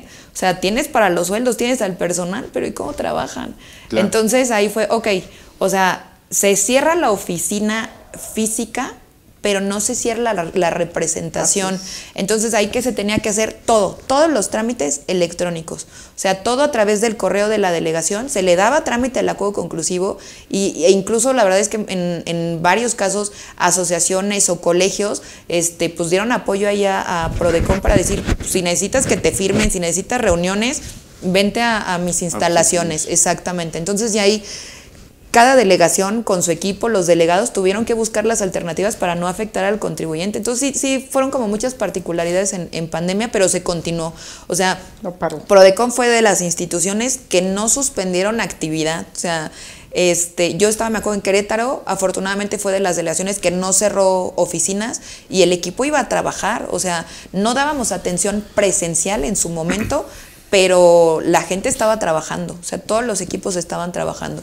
Sin embargo, la realidad es que hubo dilación, por supuesto que hubo dilación, o sea, no había manera de que lo hubiera, no estábamos preparados, nadie anticipó una situación así, sin embargo se continuó con el trabajo. Entonces, el reto importante de este año es que no afecten esas dilaciones, que no haya esas prórrogas desmedidas o injustificadas para que realmente pues, se dé la efectividad. Porque en este escenario que les comentaba, o sea, que creo, creo que sería el, en el que más se afectaría al contribuyente, este, porque a lo mejor si fuera, pues desvirtuó, la autoría tendría que reconocerlo. O sea, si desvirtuó partidas, va y reconoció en la auditoría. Entonces, a lo mejor en ese caso no se suscribe el acuerdo conclusivo, se pierde el tema de certeza que te da también la suscripción del acuerdo conclusivo, pero no lo vas a ver en una afectación económica. ¿Por qué? Porque te eliminaron la observación. Pero en el otro caso, ahí es donde vas a ver toda la afectación económica de, ok, ya no voy a acceder a la reducción. ¿De quién fue la responsabilidad? O sea, procedería, porque, porque en mi mente no me cabe que Prodecon no vaya a emitir un pronunciamiento. O sea, ya pasaron los 12 meses y se queda así el acuerdo conclusivo. No, o sea, va a tener que emitir un pronunciamiento y si no se puede suscribir, pues seguramente un cierre, ¿no? O algún, algún señalamiento de que pues ya hay caducidad especial, algo así. Y ese acuerdo como tal sería impugnable a través de un amparo indirecto. Ok. Por supuesto. Digo, pues, ahí, ahí ya están las alternativas. Y si no, pues que seguramente las contacten de tanto a la, doctora Galavis como, como a ti, este, maestra. Pues bueno, eh, si les parece bien, vamos a, atender algunas preguntas de nuestros amigos y pues obviamente con el ánimo de seguir atendiendo las consultas, los invito a que, a, que las sigan haciendo por los medios correspondientes. Pues eh, la primera pregunta es de Pedro Benítez, dice buenas tardes, interesante tema. Una pregunta, en estos momentos en una revisión de gabinete está el acta de observaciones en la cual durante el proceso no se ha podido desvirtuar ingresos. ¿Se puede ir a la Prodecon? ¿Y qué necesito llevar? Quien quiera de las dos, ¿eh? adelante. Bueno, eh, sí, eh, está en tiempo, digo, si está en el momento de eh, la revisión de gabinete y tiene el, acta de observaciones, bueno, pues dentro del periodo puede suscribir un acuerdo conclusivo y puede aportar todas las pruebas con las que él considere pertinentes para poder desvirtuar esos ingresos. Y bueno, pues tiene que entrar estados de cuenta, balances, balanzas, estados de resultados, la integración de ingresos, eh, los depósitos, el enlace con las facturas, las pólizas de ingreso, o sea, todas las pruebas que él considere necesarias para poderlo desvirtuar. Que, que, entiendo que le están fincando más ingresos de lo que debe de, seguramente ajá o sea no dice como el, el origen este aquí es importante considerar no hay una fórmula eh, general de qué tienes que aportar exactamente. hay que llevar. De hecho, siempre se dice, un acuerdo conclusivo es un traje a la medida, o sea, de lo que te estén observando de tu operación. Entonces, a lo mejor con, con el tema de qué documentos tienes que aportar, pues no pudiéramos eh, precisar a detalle qué, pero sí puntualizar ahí lo primero que tiene que ver es que esté en el plazo de los 20 días. O sea, si no está en el plazo de los 20 días, ya no va a poder solicitarlo. Es que, mira, muchas veces son los considera la autoridad de ingresos omitidos porque a lo mejor tienen traspasos entre cuentas, pero no lo no lo aclararon en el traspaso. O préstamos, O tiene préstamos y donativos, ajá. O, Tiene que revisar eso. O, a lo mejor tuvo ingresos en efectivo y, tiene a lo mejor un contrato de, de mutuo y no hay justificación. O sea, son muchas las variantes que puede tener y la autoridad, pues, en el momento que tú no la acreditas, es un ingreso omitido y es otro, y es otro ingreso. Claro. no hay para dónde. Pues ahí están justamente ya eh, los comentarios tanto de, la maestra eh, como de la, doctora Mercedes, digo, ahí para que este, mi estimado, era Pedro, ¿eh? Pedro Benítez, este, pues obviamente acudas, estás en tiempo y pues ya te dieron ahí algunas ideas para que puedas hacer llegar esa información. La siguiente pregunta es de Juan Arturo Guzmán Otero. Dice, ¿la PRODECOM me podría ayudar a reducir multas o recargos o se tiene que ir a juicio? Ahí me gustaría hacer la distinción qué tipo de multas y qué tipo de recargos. O sea, Prodecon no tiene como una varita mágica de decir, me voy a inventar un procedimiento. Todo tiene que ser al final acotado a un marco legal. Entonces, si ya tenemos, por ejemplo, multas derivadas de las que comentábamos hace un momento, de requerimientos que fueron directos, oye, no me presentaste estas declaraciones, las presentaste fuera del plazo, porque también tenemos un abanico muy amplio de, de infracciones por las cuales me pueden multar, y ya tenemos estas multas, si lo que quiero es solicitar la reducción en términos de 74, si se puede, sí pueden ir a Prodecon, les va a ayudar, pero es otro servicio, es asesoría, no es acuerdos conclusivos. Si lo que yo quiero es que se solicite la reducción de multas o recargos a través de acuerdo conclusivo, tiene que estar vinculado forzosamente con una auditoría. Se puede solicitar, sí, pero ahí Prodecon no me va a hacer el escrito. O sea, le va a dar trámite, por supuesto, en el acuerdo conclusivo, sí, adelante. Ahora, señalaban ahí, ¿se puede ir a juicio? Eh, la solicitud de reducción de multas con una instancia jurisdiccional no son compatibles. Okay. O sea, recordemos, el acuerdo conclusivo es un mecanismo alternativo, es decir, no es jurisdiccional. Pero acudir a un juicio y tener a la par la reducción no es compatible, incluso es un requisito para solicitar la reducción que no esté controvertida esa multa. Entonces, nada más es hacer como la distinción qué tipo de multas, cuál es el origen de esas multas. En cualquiera de los casos Prodecon me puede apoyar, sí, pero van a ser distintos servicios. a ver, ahí me gustaría hacerle una pregunta a las dos, a ver cuál es su, punto de vista, que puede ser distinto. ¿eh? Eh, ahora con todo el tema de la reducción de las multas y justamente eh, platicando de, de, que uno de los puntos importantes para que puedas acceder a la reducción es que no estén en juicio, una vez que te desistes posiblemente que del juicio estarías en la posibilidad de que regreses otra vez al tema de nulidad si es que no te da la reducción? ¿O ahí cuál sería su opinión? Sí, digo, no sé si me explico. O sea, oye, ya ves que hay un programa de reducción de, multas. Hasta diciembre. Hasta diciembre, exactamente. Que salió apenas el comunicado la facilidad. Hace, dos meses más o menos. Sin embargo, te dice, bueno, a ver, manda tu solicitud, manda tu escrito y voy a ver si te apruebo el, hecho de la reducción, de que puede ser del 100% y ahí hasta abajo, ¿no? este, dependiendo del porcentaje de reducción que te otorguen, apegándose al 74 del código. Así es. Eh, pero uno de los requisitos, como bien comentas, es que no estén en, eh, que no estén en juicio. Controvertido, claro. Si, por ejemplo, tú dices, ¿sabes qué? Pues desístete, mete el escrito. Ahí, y a la mera no, te dan, el, en ese caso, la, este, la reducción. La reducción que, o sea, creo que muchos están cayendo en, esa situación y te comento porque recientemente justamente no, no, nos, este, nos hicieron esa, esa consulta. ¿Cuál serían, ¿Cuáles serían tus comentarios? Allí... Ah, me aviento la, la, nulidad ya que estoy adentro, ya que está ahí la, la, nulidad, o de plano sí me apego a, a la reducción de multas. ¿Cuál sería su, su comentario? Oye, te voy a contestar como buena abogada, ¿no? Depende. O sea, depende. Porque, o sea, depende realmente de lo que quiere el contribuyente. Porque Sí, claro. en esos casos, la verdad es que nos ha tocado asuntos en los que el contribuyente dice, no, yo no me quiero ir a juicio. O sea, yo no me quiero ir a pelear. Yo quiero que A me quiten esas multas porque además este, las tengo en opinión de cumplimiento y necesito mi opinión de cumplimiento positiva. Entonces a mí me urge más bien regularizar eso. Ok, si no te quieres ir al litigio, o sea, teniendo esa opción, ok, solicita la reducción, pero teniendo presente una cosa, para que tú te vayas a una instancia jurisdiccional también hay plazos, plazos fatales, en los que si no lo presentaste en tiempo, regla general 30 días, ya después no lo vas a poder solicitar. Entonces, no, no es tanto la opción. Para mí la recomendación, o sea, a lo mejor decía, pues claro, eres abogada, litigio. O sea, la recomendación es litigio, ¿por qué? Porque esa es la opción, obviamente, que, que puedo perder Claro. si me voy a la reducción. En cambio, si pierdo el litigio, sigo teniendo la opción de La la, opción, reducción. claro. Entonamente. Entonces, sí es importante como tener esas Y consideraciones. valorarlo, ¿no? Valor- valorarlo, como bien Exacto. comentas. Eh, Sí, digo, ahí, ahí este, completamente de acuerdo. ¿Quiere comentar algo? este, Sí, lo que pasa es que e- ella ve la parte legal, yo veo la parte contable, ¿no? Yo diría, bueno, desde mi punto de vista, hay, hay que ver la importancia de tu multa. Igual es una vacilada, ¿no? Igual Sí, claro. mejor me voy, Ajá. o sea, mejor me voy a la condonación del 74 o me adhiero a la, a la modificación, a la publicación del 8 de septiembre, ¿no? Claro. Y entonces, o me voy a un recurso de revocación, porque en el recurso de revocación no, no tengo que garantizar. Entonces, eh, ahora sí que eh, me adhiero a, a la opinión de la maestra, es dependiendo de la circunstancia y dependiendo de la necesidad Claro. del contribuyente, porque muchas veces el contribuyente dice, no puedo concursar, no tengo opinión de cumplimiento, este, estoy tramitando un crédito, bla, bla, bla, bla. Entonces, depende de qué? Del escenario directo Ok. del contribuyente, qué es lo que quiere. Y uno como contador o como asesor, pues tienes que ver el abaniquito, a ver cuál, a cuál, cuál le conviene y cuál es el más rápido y cuál es el más próximo. Bueno. y el más Claro. barato. Yo, yo alzo, alzo mi manita así como, este, puedo dar mi opinión.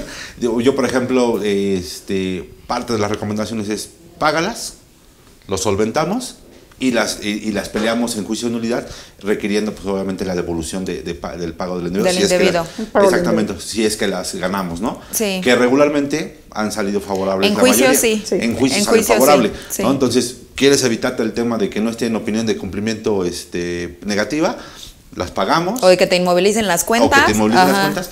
Garantizamos sin problema y nos seguimos pues, el, el procedimiento Sí. sin, sin mayor inconveniente, ¿no? Que esa podría ser otra alternativa. Claro. Claro. ¿no? Entonces, este, pues ahí, ahí está ya eh, un poquito más con el tema de las multas.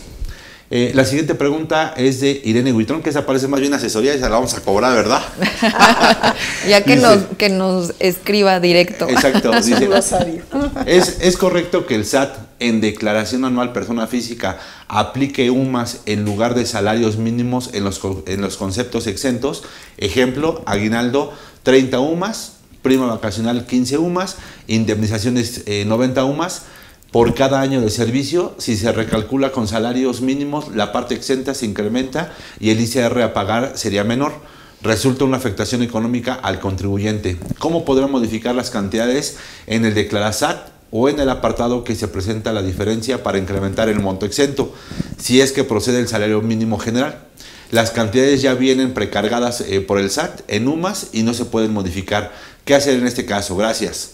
Yo tengo ahí un criterio, pero si quieren ustedes ah, comentarlo antes. Bueno, mira, eh, depende de varias cosas. Hay que tener dos aristas. La, la UMA es la unidad de medida de actualización. Así es. Y justamente es para la aplicación de multas, ¿no?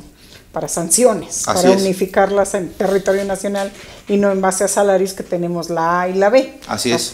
Esa es la primera. La segunda es, en el caso de, de la autoridad, pues te tiene que sancionar, ¿no? No es en base a, a- a salarios mínimos, es en base a UMAS. Claro, Ese es mi punto de vista. claro. ¿sí? Independientemente de cómo las modifiques, bueno, pues en el portal del, del SAT técnicamente ya vienen precargadas. Así o sea, es. ya no las puedes modificar. Claro.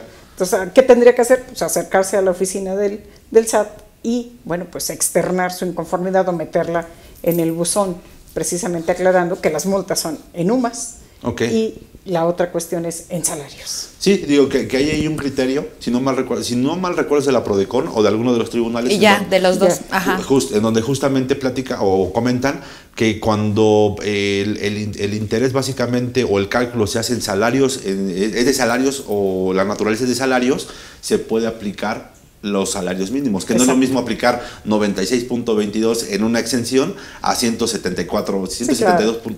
Pun- 172 pesos más o menos el tema del salario mínimo, ¿no? Porque sí se va casi al doble o un poquito más. Es que tienes que ver la naturaleza. En- ¿Cuál es para cuál? Exactamente, entonces, desde mi punto de vista, y ya lo hemos platicado aquí dentro de la capacitadora, sería aplicar salarios mínimos en la naturaleza que se está pagando y yo lo haría de manera, este, yo Juan Carlos, digo, para que no, no digan, oye, ¿sabes qué? Se, le- se le ocurrió o no.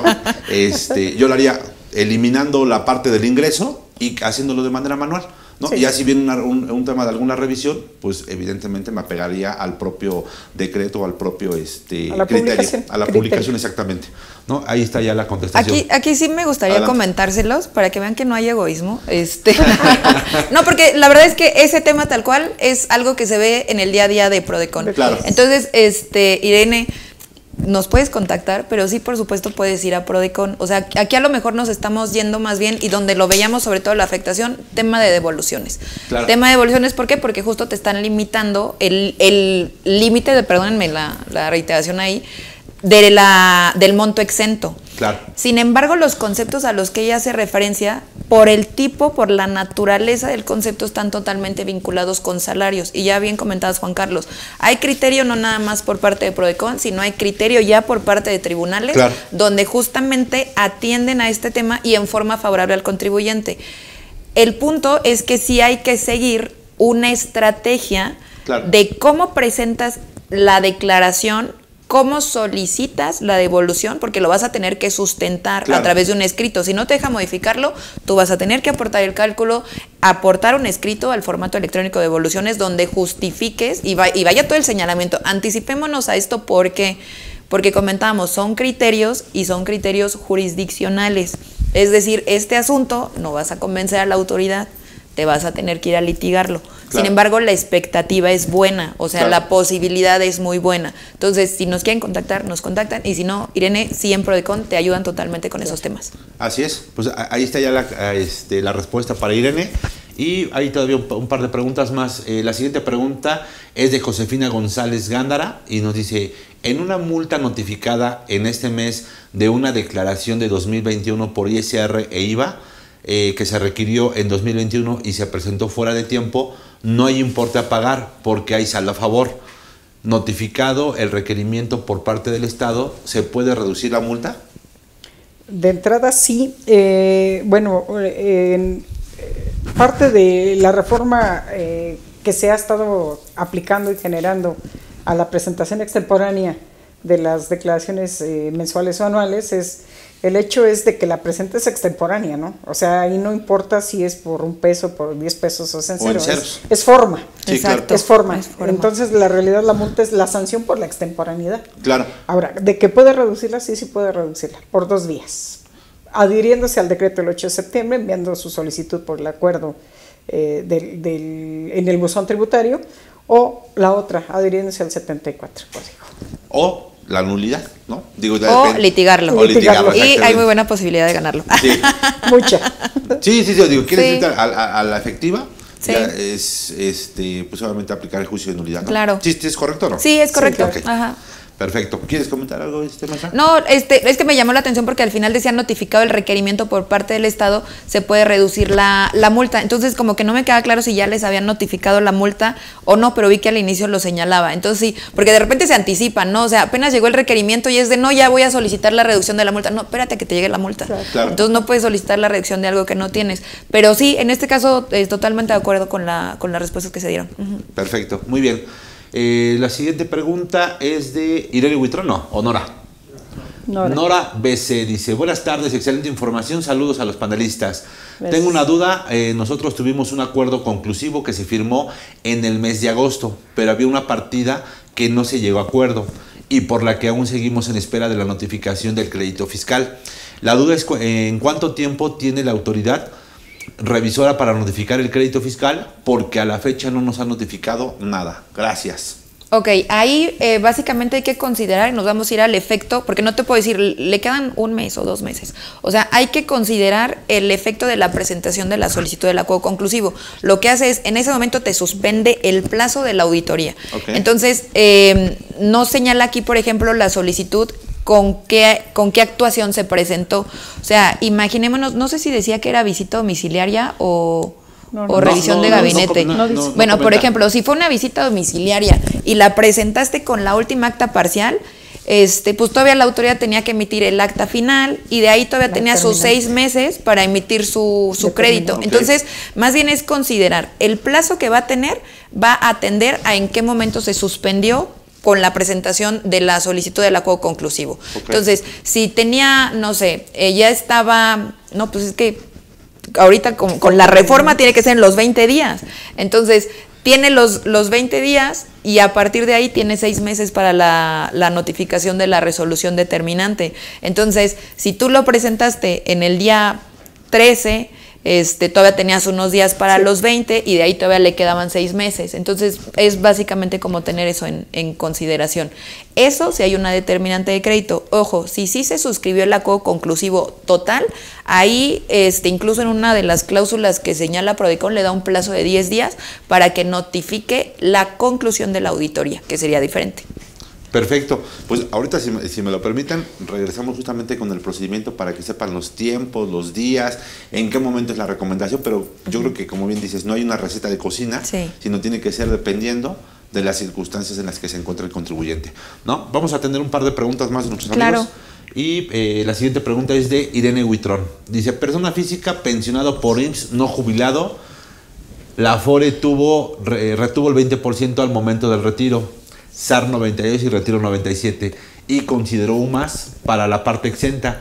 ¿Cómo apoya la Prodecon en este caso para aplicar salarios mínimos y no UMAS y para recuperar lo retenido de impuestos sobre la renta? Eh, no voy a ahondar como, como tanto.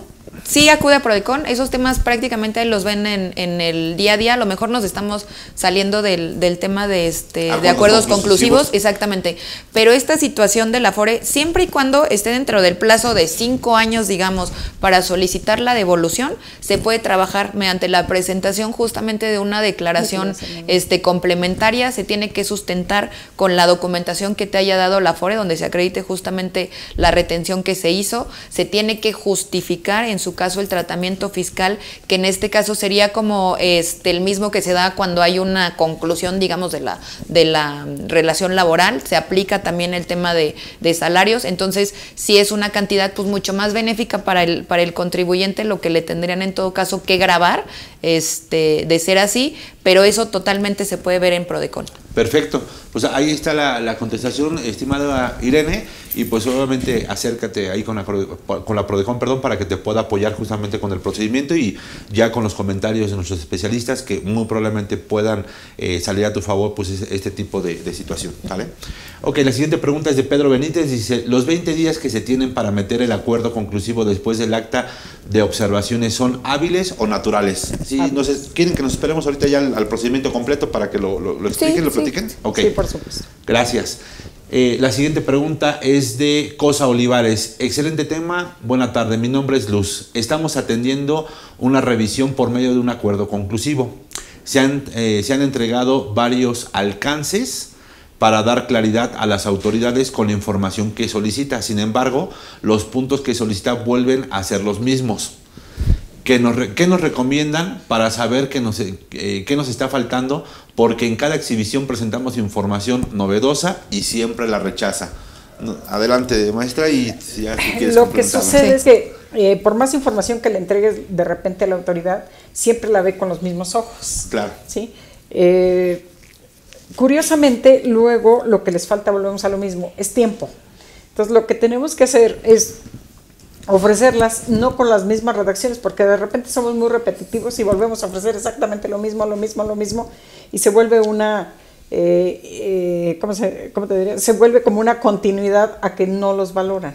Entonces lo que tienes que hacer es cambiarlos de redacción, ofrecer distintas presentaciones, hacer explicaciones punto por punto y prueba por prueba para que vayas desvirtuando, ¿no? O sea, la observación A eh, la prueba es A por esto, por esto por esto, y pido exactamente que se valore por esto por esto por esto.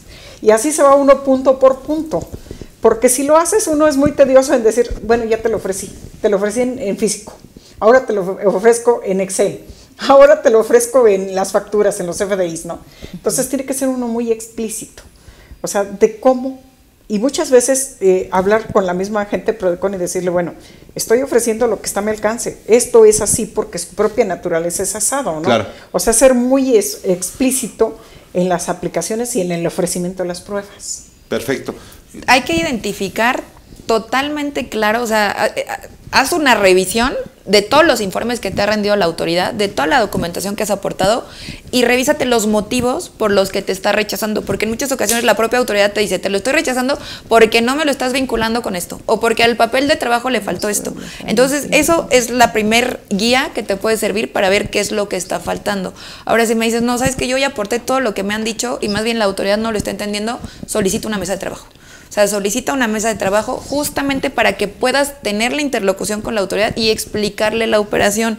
Ahora, no se señala ahí cuál es la, la, mm, la partida, pero por ejemplo, si estamos hablando de tema de materialidad y ya tenemos al proveedor en el listado definitivo de 69, ahí sí va a estar bien difícil, no es imposible, si hubo casos, pero hay que identificar el tipo de partida. O sea, si es esa, sí le tienes que meter como toda la carne al asado, o sea, aportar todo lo que tengas para, para realmente generar convicción en la autoridad de la materialidad de la operación, de que sí se realizó. Ahorita, si quieren, platicamos del procedimiento, asimilados, y para cerrar el tema del 69, si te parece bien. ¿Sale?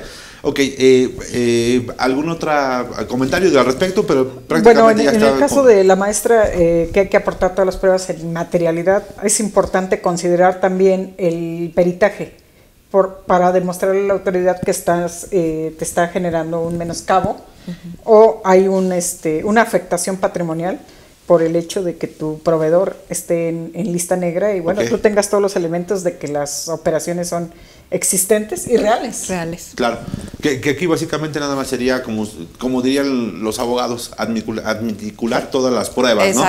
En donde relaciones el texto con las pruebas y obviamente que vayan relacionadas. Básicamente. Exacto, porque habremos escuchado yo creo que muchos de la jurisprudencia que se emitió en materia de fecha cierta, ¿no? Claro. Donde de alguna manera pues sí te generaba como cierta preocupación al contribuyente decir, ok, y todos los contratos que ya tuve y que no protocolicé o que no cuentan con tal con los requisitos de fecha cierta, lo que les puedo compartir es que en la experiencia, en acuerdos conclusivos, por ejemplo, uno recurrente, préstamos, ¿no? O sea, préstamos que te están este, observando porque están en tu cuenta, entonces tú dices, son préstamos y el contrato pues sí está, pero no está protocolizado. Ok, la realidad es que no veíamos tampoco la perspectiva de la autoridad de forzosamente decir, ah, si no está protocolizado, entonces no desvirtúa, no. Siempre y cuando, como comentabas ahorita, Juan Carlos, esté adminiculado con otras cuentas. Oye, los estados de cuenta, ¿no? Donde se ve el flujo, las salidas de dinero, las entradas de dinero, el pago de los intereses, con eso es suficiente. Así es, efectivamente. Pues ahí está ya la contestación de las preguntas. Y es la última y seguimos con la charla que está bastante interesante. Y pues muchísimas gracias nuevamente por, por esta, esta plática que se me ha pasado muy, muy rápido, porque ya estamos pues nos falta nada más media hora ya de, de, charla. De tiempo. Ok, Hugo Guillén dice, buenas tardes maestros, eh, excelente charla. Si se tiene una revisión de gabinete y por omisión no se regularizaron en tiempo los pedimentos de importación temporal, durante la auditoría fueron presentados los documentos con la manifestación de valor y la hoja de cálculo sin firma del representante legal. La autoridad me está imponiendo una multa por no estar firmados esos documentos se puede recurrir a la PRODECON y presentar los documentos firmados y evitar la multa.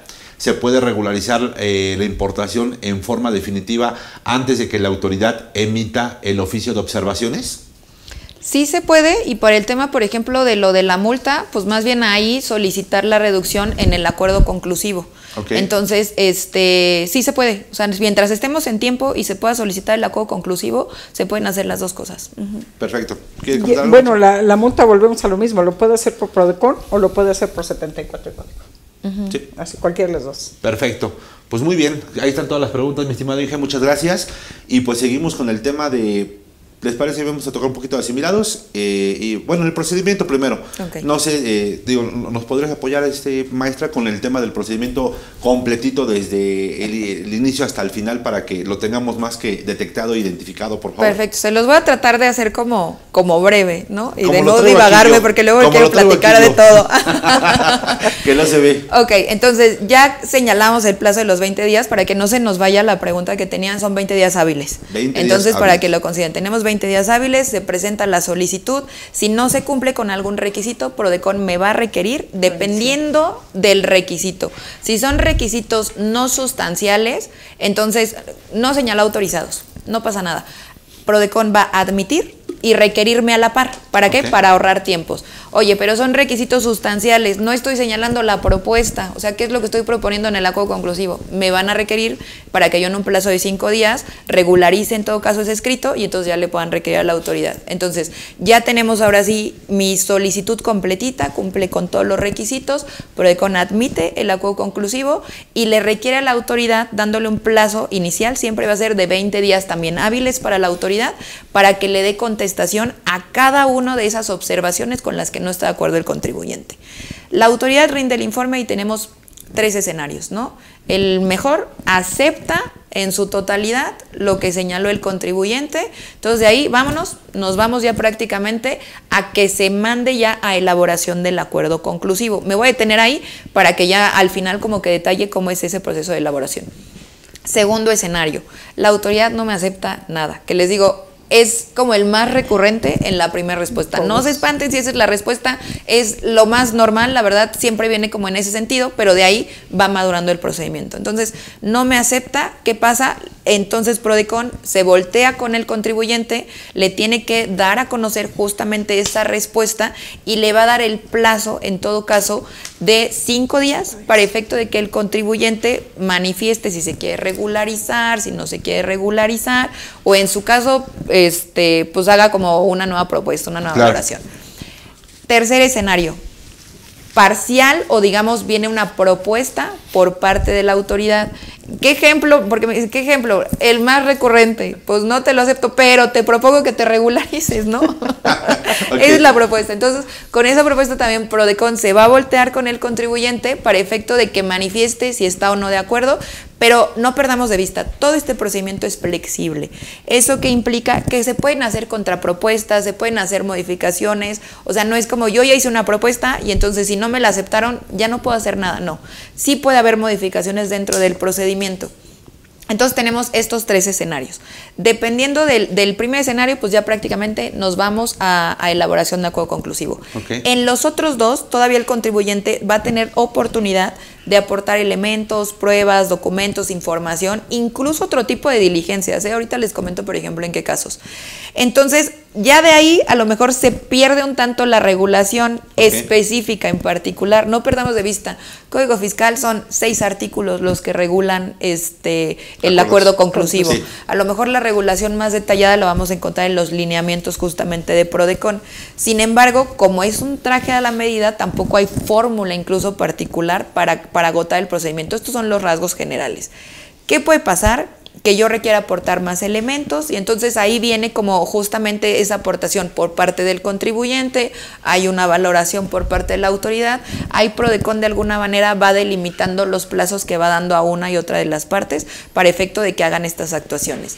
Sin embargo, si yo detecto, por ejemplo, el, el caso que comentaba en ese momento, pues yo ya veo que estoy como entrampado en ese de aportar documentación y valoración y no veo avance, puedo solicitar una mesa de trabajo. Ojo, la mesa de trabajo no se da porque se solicite. O sea, no es como ya solicité la mesa de trabajo y Prodecon está obligado a autorizarla. No. Y más ahorita que estamos sobre el tiempo, sobre el tema de plazos. Hay que justificar por qué estoy solicitando esa mesa de trabajo. Ahí, por ejemplo, le- le- un caso donde les, donde podemos como delimitar claramente la oportunidad para solicitar la mesa de trabajo.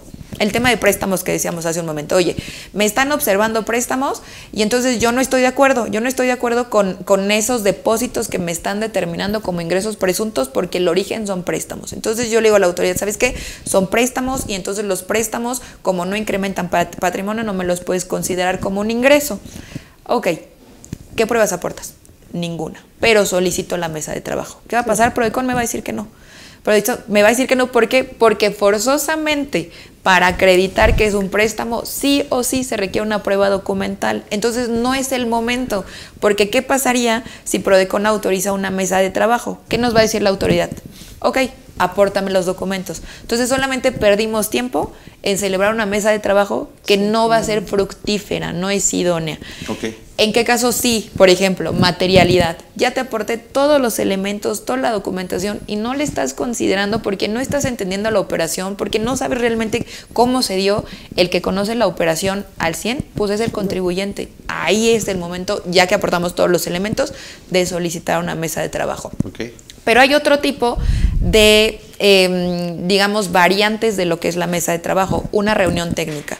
En la mesa de trabajo se pueden hacer propuestas, se pueden aportar documentos, este, y se pueden llegar a consensos. En la reunión técnica, no.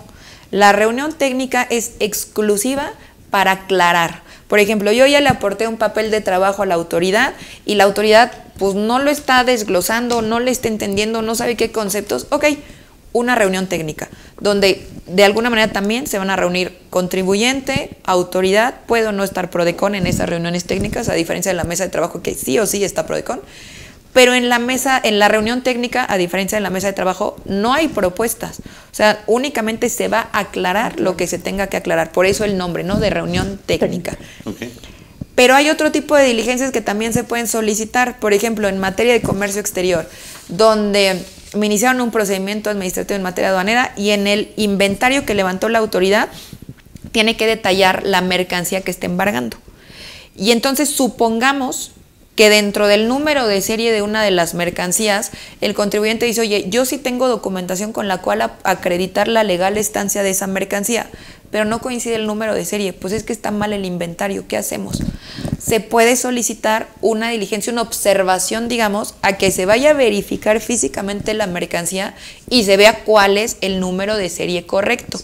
Y esa va a ser totalmente la diferencia de si la documentación que estoy aportando sirve o no para acreditar la legal estancia de esa mercancía. Entonces, eh, son como actuaciones adicionales que se pueden realizar dependiendo de la problemática en el acuerdo conclusivo. Ahora, una vez que ya agoté todas estas actuaciones y llegamos a que sí hay o que no hay un consenso. Si sí hay un consenso, como en, la, en el primer escenario que hablábamos de la aceptación desde el inicio, entonces ya nos vamos al proceso de elaboración del acuerdo conclusivo. Si no hay un consenso y ya se agotaron todas las instancias y no hubo ni siquiera acuerdos parciales, ¿qué es lo que va a pasar? Prodecon va a emitir un acuerdo de cierre. ¿Cuál es el efecto del acuerdo de cierre? Pues prácticamente como que nada hubiera pasado, digamos, ¿no? Se van a levantar los plazos, las propuestas incluso que se hicieron, que eso es bien importante, porque de repente pasa que el contribuyente dice, ok, y si yo en el acuerdo conclusivo dije que me iba a regularizar, ahora que me determinen el crédito ya, o sea, ya me amolé, voy a tener que pagar, por supuesto que no. O sea, las propuestas en que se hicieron en el acuerdo conclusivo se tienen como que no se hubieran hecho. O sea, prácticamente el efecto es como que retrotraemos todo a que no se hubiera presentado el acuerdo conclusivo. Podríamos llamar. Exactamente, en los tiempos, pero también como se suspendieron, perdió. como se, ajá, el tiempo eh, en ese acuerdo conclusivo, pero como los tiempos de la auditoría se suspendieron, pues es como si no hubiera pasado, ¿no? Entonces se reactivan esos plazos y la autoridad continúa en todo caso con su trámite. Sin embargo, aquí lo que les comentaba al inicio, aún en ese caso hay beneficio. ¿Por qué? Porque ya supe qué es lo que está valorando la autoridad. Ahora, en el supuesto de que si hay un consenso, se manda a elaborar el acuerdo conclusivo. Hubo también una modificación a los lineamientos. Antes se preveía, si no me recuerdo, siete días. Ahorita se prevé un mes. Van a decir, oye, ¿por qué si estamos sobre los 12 meses, ahora están ampliando al mes? La realidad es que los siete días, o sea, ya en la práctica, no se estaban realizando. ¿Por qué? Por la carga que hay en la elaboración del proyecto. Entonces, Claro. aquí más bien fue limitar a un plazo que sí fuera real. Porque además este, en ese plazo se le tiene que dar vista a las partes que tienen tres días, incluso para señalar sus observaciones sobre el proyecto y ya señalar ahora sí la fecha y hora en que se va a suscribir el acuerdo conclusivo, considerando que las partidas por las cuales hubo un consenso prácticamente no se pueden modificar. Hay una salvedad por ahí, pero ese es el efecto, darle certeza a ambas partes, al contribuyente y a la autoridad, de que ya nos pusimos de acuerdo y después no va a ser como que, ah, no me equivoqué, las cantidades no estaban bien, lo voy a modificar, eso ya no va a ser posible. Eso fue como en términos muy generales. Ok, perfecto. No, sé si quiera comentar algo, maestra, al respecto para complementar lo que ya nos comentó la, la, maestra. Lo que sucede es que, por ejemplo, en, en, en, las diferentes etapas donde tenemos eh, por parte del contribuyente la aportación de pruebas, pues muchas veces los tiempos son muy cortos, son cinco días, son tres días, entonces no nos son suficientes. ¿no? Entonces normalmente recurrimos con un escritito abierto eh, pues pidiendo eh, la oportunidad de, que me den esos cinco días, ¿no? Para poderlos ofrecer. Sin embargo, también la autoridad lo hace porque es mucha la carga del ofrecimiento de pruebas que tampoco les da tiempo. Entonces es recíproco. Entonces la, la, la, Prodecon lo que hace es me notifica, eh, la autoridad pide prórroga y, y, Prodecon me notifica de que están pidiendo prórrogas, porque yo ya estoy contando mis, mis días para mis cierres y pues, se me empieza a desfasar, ¿no? Tú le dices al cliente, bueno, tarda X tiempo y de repente el cliente empieza, el contribuyente con, con la idea de, oye, ya se nos pasaron los plazos, ¿qué, qué sucede, no? Empieza con la incertidumbre y el nerviosismo, ¿no?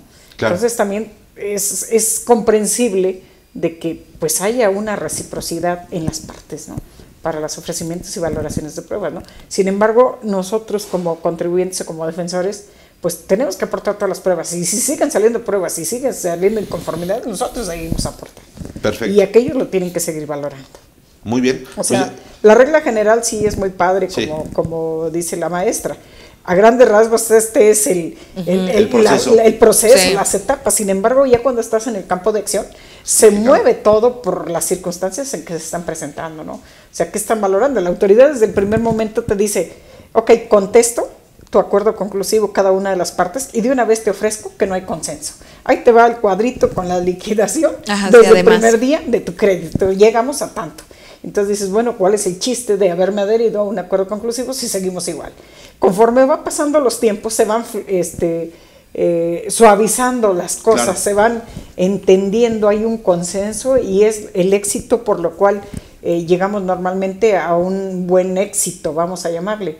¿Por qué? Porque vamos entendiendo el porqué de las cosas y llevamos la gran ventaja de que vamos valorando y vamos midiendo a veces a la autoridad hasta dónde es el efecto, hasta dónde va a rebotar este, muchas veces la necedad, ¿no? Porque muchas veces son necedades. Claro. Hay que ser clarísimos. Ya no es de, de, si está bien o está mal, es de repente es, a contentillo.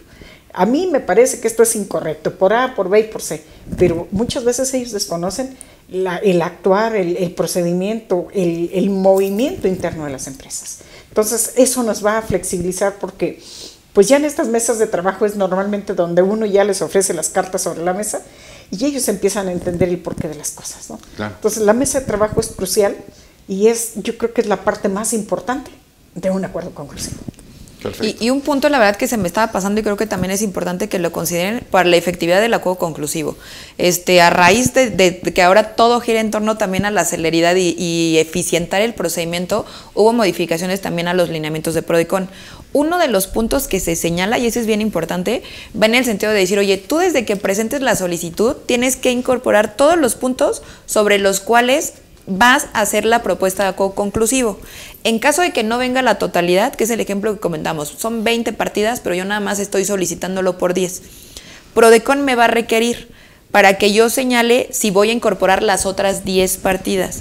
Si no contesto, si no las incorporo, entonces en ese acuerdo conclusivo ya no las voy a poder incorporar con posterioridad, salvo que sea para regularizar.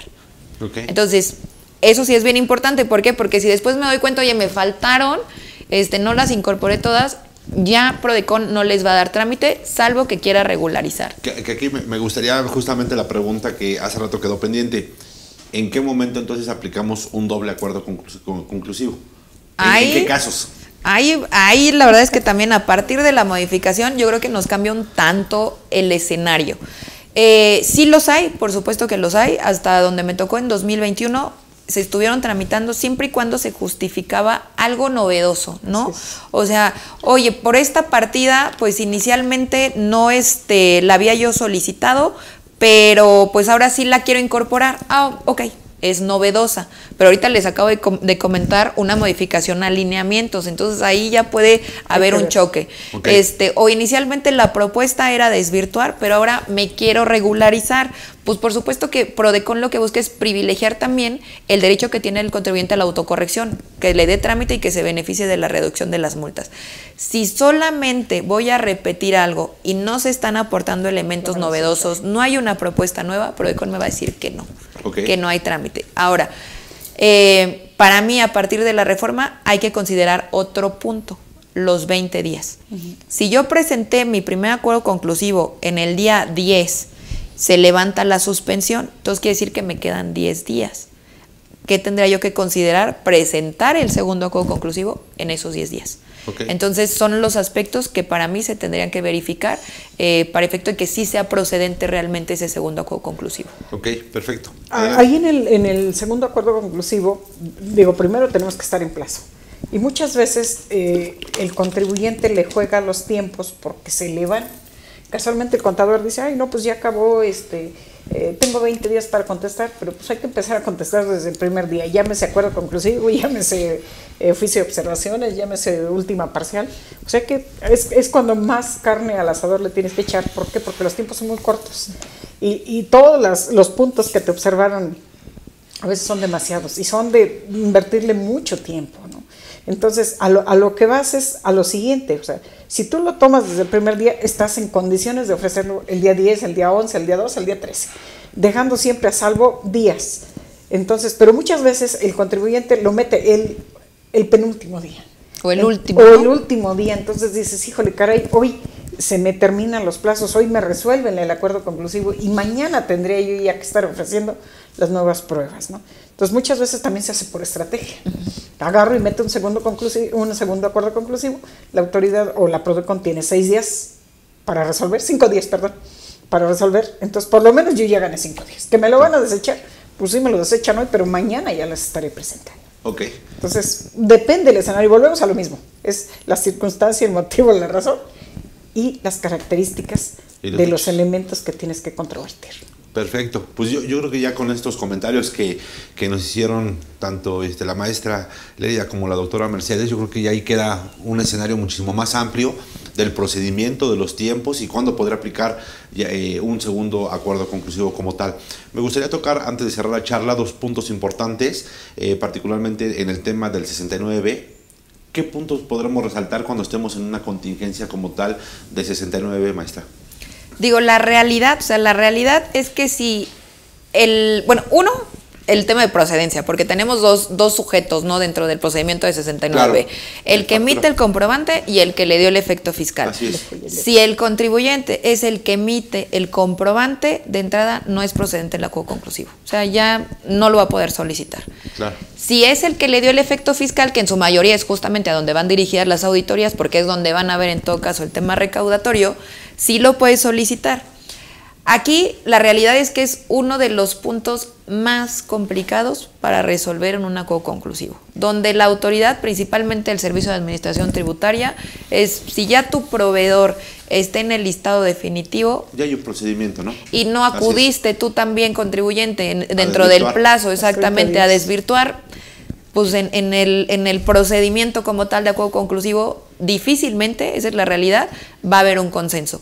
Sin embargo, entonces ahí diríamos, ¿y para qué me sirve el acuerdo conclusivo? Estratégico. Si me faltó aportar documentación y yo ya estoy visualizando irme a litigio, solicito el acuerdo conclusivo. ¿Por qué además? Porque voy a ver realmente qué valoración va a venir sustentada en la determinante de crédito, qué tan endeble va a venir o no esa determinante de crédito, y si no, más bien yo valorar, oye, pues si realmente no tengo documentación, no tengo información, no soporte esa operación, pues mejor me regularizo. Entonces, esa es la realidad en cuanto al procedimiento.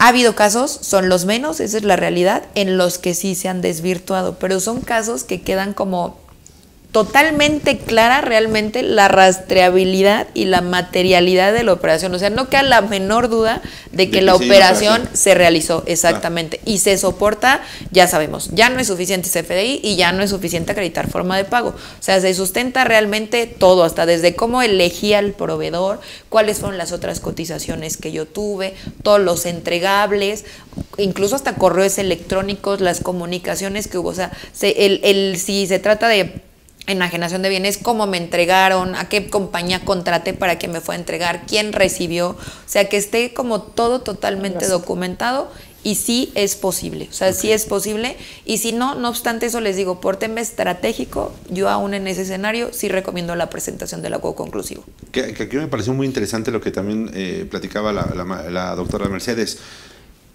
el tema de las periciales, ¿no? Digo, la importancia que puede tener, eh, que ya hablábamos en una charla sobre las periciales que podría aportar, ¿se podrían aportar como tal en este, en este, en este punto particularmente, este doctora? Sí, porque eh, técnica, técnicamente te estás generando un menoscabo, o sea, la, la empresa ya hizo una erogación.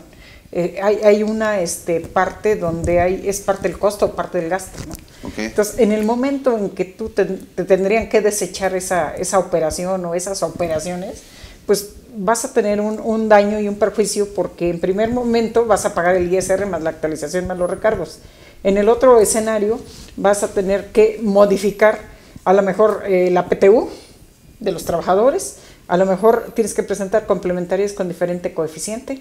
Y no nada más va a ser el momento el menoscabo que me causa el día de hoy una operación del 2018, sino el tracto que va a generar 2019, 20, 21 y 22 en presentar complementarias, en corregir contabilidad electrónica. Claro. Y entonces eso me va a generar pues un costo adicional. Así es. El hecho de corregir y aparte, pues eh, intencionalmente eh, estoy eh, afectando la economía de mi empresa. O sea, tengo una repercusión económica por un descuido o por una mala valoración de mis pruebas.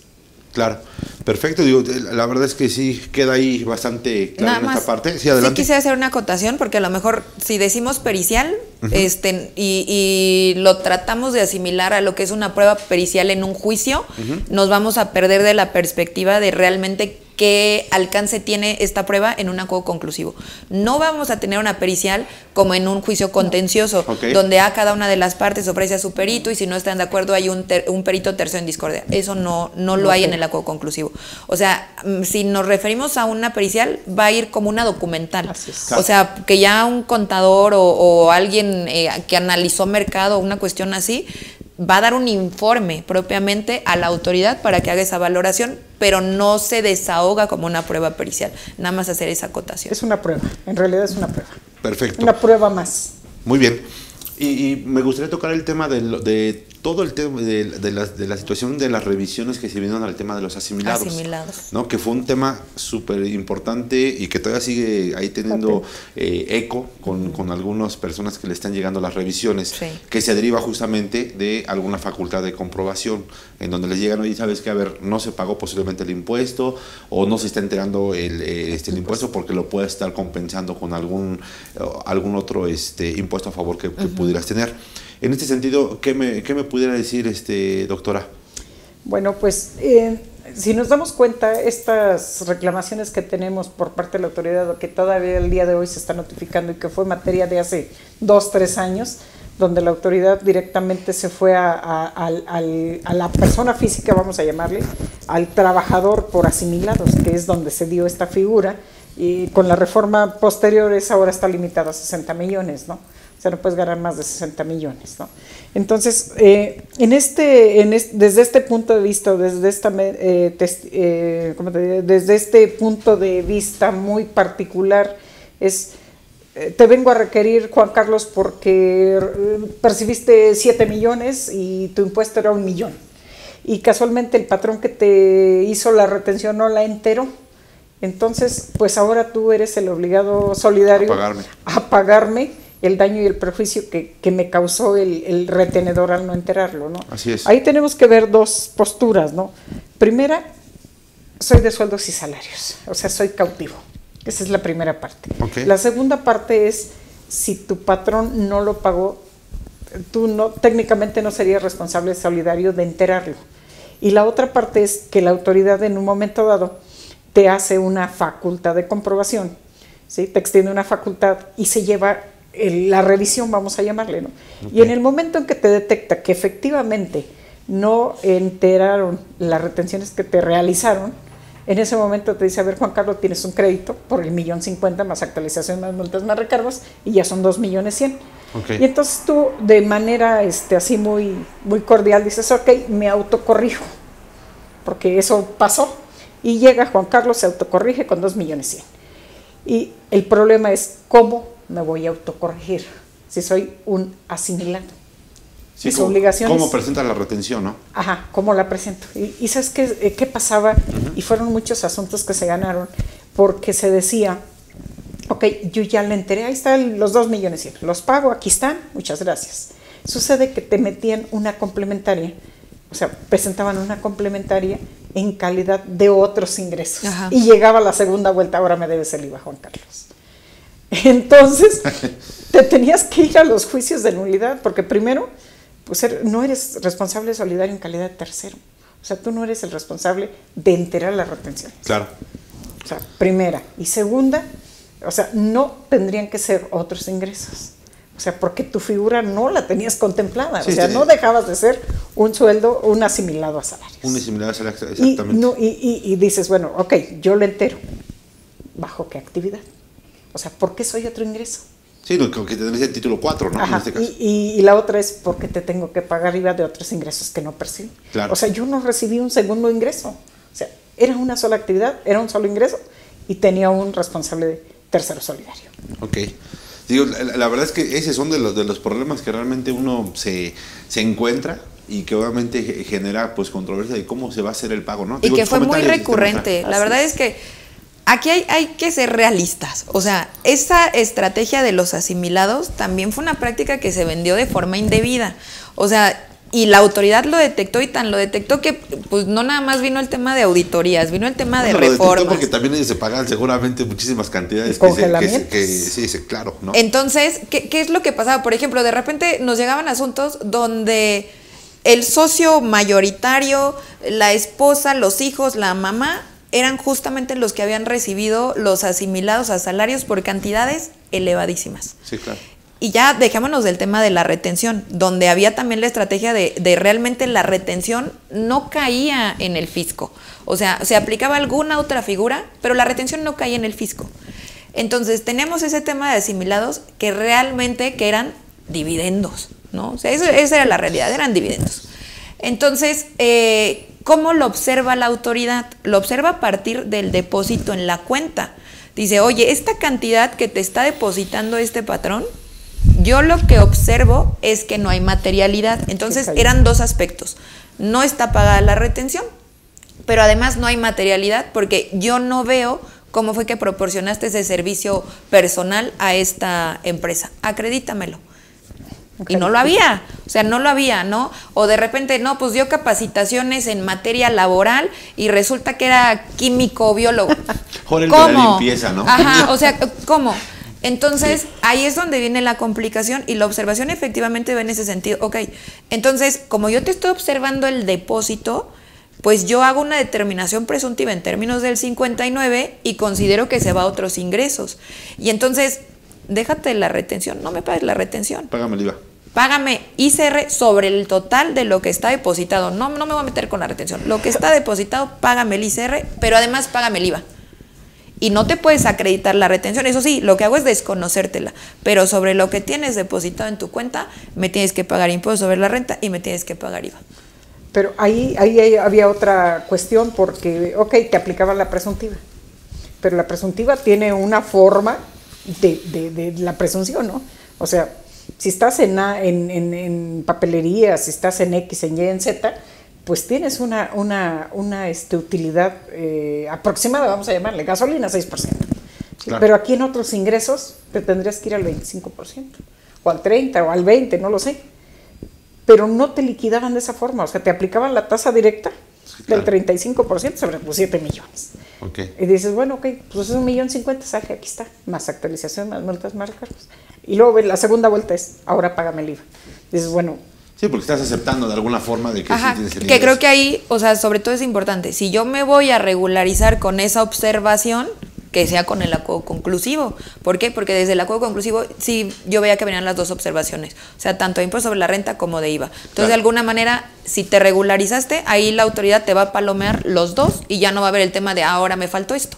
Y, y ahí el acuerdo conclusivo, ¿en qué sentido viene? Le- en todo caso, si les beneficiaba, era para la reducción de las multas. Exactamente. Pero no para... Pero este, hubo casos, la verdad es que sí hubo casos, y creo yo que era todavía más fácil en asimilados que en, en el tema de materialidad, donde se advertía que efectivamente sí se había proporcionado el servicio. Entonces se acreditaba de alguna manera, oye, sí está proporcionado el servicio, Claro. mira, te lo acredito con mi cédula, este, con, con este material que yo proporcioné, hubo fotografías, hubo registro de asistentes y fueron capacitaciones. O sea, se acreditaba que se había proporcionado el servicio y entonces lo palomeaba el SAT. Perfecto. Pero Pues, era un poquito complicado, ¿eh? porque querían tu cargo, tu gafete, este, tus estados de cuenta, tus préstamos, este, las cuentas de tu esposa, o sea, mucho más allá de lo que era el, el problema directamente con uno, ¿no? Y que realmente tengas el perfil para poder percibir un ingreso por asimilado, ¿no? Que Claro. Que, que, que ese, ese se, se huele cuando realmente no... Sí. No digo porque nos encontrábamos a veces que a cualquier persona le pagaba un asimilado cuando no encuadraba justamente... Y un el dineral que 94. les pagaban. Ajá, Ya- exacto. ya- los montos sí, o sea, un dineral, exactamente. Así es. Pues bueno, Diego, la, la verdad es que ya por, por despedir el programa, me gustaría nada más leer una última nota que, que me pareció interesante y, y que me den sus comentarios y el cierre final de sus, de sus este, recomendaciones a nuestros amigos. Fíjate, dice, acuerdos conclusivos coadyuvan al fisco con 12.089 millones de pesos, cifra récord. Y mi pregunta nada más vendría referente a esto. ¿Realmente la Prodecon está haciendo, y de- per- perdón la, la- la expresión, palero prácticamente del SAT para poder este, justamente recaudar y hacer como que, ah, verá, sabes que por acá aprieto, aprieto la tuerca y de este lado pues como que te doy chance de que, a que te, te condonemos multas y cosas de ese tipo, digo, principalmente por las notas, porque fueron dos o tres notas las que encontré al- al respecto y me surgió ese, ese, pues, e- ese comentario que quisiera platicar y, y a ver qué, qué- qué dicen al respecto. Claro, o sea, ¿quién? ¿Yo primero? adelante. Claro, claro. Eh, en cuanto al tema de recaudación, les comentaba que yo en particular, ya, ya estoy fuera, ya lo puedo decir. De repente como que me generaba eh, cierta inquietud el, el por qué boletinamos cuánto se recauda si Prodecon no es recaudador. Prodecon es defensor. Entonces, no obstante, sí es bien importante considerar por qué es importante esa cifra, porque esta cifra va aparejada de un beneficio al contribuyente. Ok. Esta cifra Prodecon no te la está cobrando. O sea, en alguna ocasión, la verdad es que sí voy a decir que, que uno es humano y se enoja. Yo escuché que alguien decía, no, es que Prodecon a través del acuerdo conclusivo te entrega en bandeja de plata a la autoridad para que le pagues. No es cierto. O sea, tú en cualquier momento puedes decir, me desisto, es más del acuerdo conclusivo, ya no voy a seguir con él, no voy a pagar, no voy a regresar, nada. Y, y lo puedes hacer, no pasa nada, Prodecon no te va a obligar. Pero es al final del día una herramienta que si bien en- eh, ayuda a que el SAT recaude o que las autoridades fiscales recauden, pero el beneficio que está haciendo es que tú contribuyente eso que pagaste, lo pagaste de forma voluntaria. Claro. Lo pagaste porque quisiste y Por porque se te hizo justo incluso además, ¿no? Entonces, eh, eso es lo que yo veo, o sea, que no, no nos vayamos con el tema, oye, Prodecon está cobrando, no. Claro. O sea, Prodecon ayudó al final del día a un contribuyente a regularizarse. Obviamente, eh, la nota es el monto. El monto. El monto, porque al final del día también hay que considerar Prodecon. Para lo enorme que es el SAT, pues Prodecon es, es una institución pequeña. O sea, y está ayudando a la autoridad y está ayudando, ayudando al contribuyente con esos montos. Perfecto. Comentarios finales ya para, para que cerremos, mi estimada este, maestra. Pues la recomendación, si estamos en una auditoría, ya vimos todos los beneficios, por favor soliciten el apoyo de un asesor, o sea, no lo dejen de lado porque las consecuencias en materia fiscal, como, como en la salud, son siempre, si no prevenimos, nos vamos a ir a sala de urgencias. Si ya estamos en sala de urgencias, vayan con un especialista, vayan con un asesor que realmente les pueda apoyar, que conozca de estos temas y que conozcamos de todas estas alternativas que tenemos. Ahorita hablamos de una, acuerdos conclusivos, pero tenemos otros mecanismos, otras alternativas que están prácticamente para el acceso del contribuyente, hagamos uso de ellos. Así como tenemos obligaciones, tenemos derechos y la verdad es que para mí si tenemos un derecho estamos obligados también a hacerlo valer. Claro, pues muchísimas gracias por aceptar la invitación. Esta es tu casa, digo, Muchas esperemos que, que, sea el primero de muchos Claro este, pláticas eh, que nos puedas acompañar y pues agradecido con, con tu, con tu presencia. Al contrario, muchas gracias. Gracias, este, maestra. Maestra, sus comentarios finales y si quiere dar un- algún comentario de la nota que platiqué. Sí, bueno, eh, Prodecon eh, técnicamente, bueno, da el apoyo al contribuyente, es el árbitro de fútbol, siempre lo he dicho, ¿sí? coadyuva a que esa controversia se, se resuelva, ¿no? Entonces no es tanto que apoye a recaudar, sino sencillamente es apoyó en ciertos asuntos y lo que pagó ese contribuyente pues es parte de esa suma, ¿no? Entonces a lo mejor yo traía un millón de pesos por pagar, pero dentro de Prodecon a lo mejor pagué, 200, ¿no? Entonces hubo un beneficio eh, al contribuyente y hubo un aumento en, el patrimonio del SAT, por así decirlo, ¿no? En la recaudación, ¿no?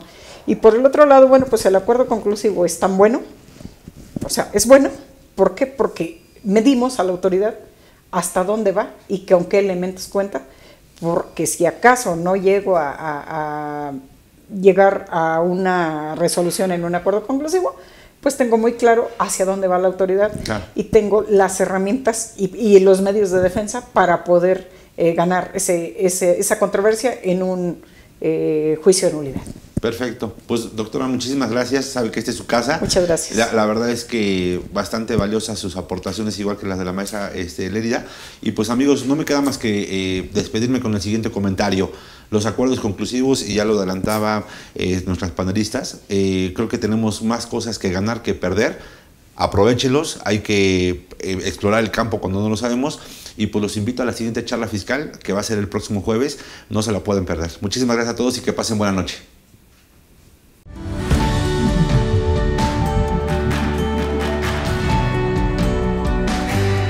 Cadefi agradece su preferencia. Hasta pronto.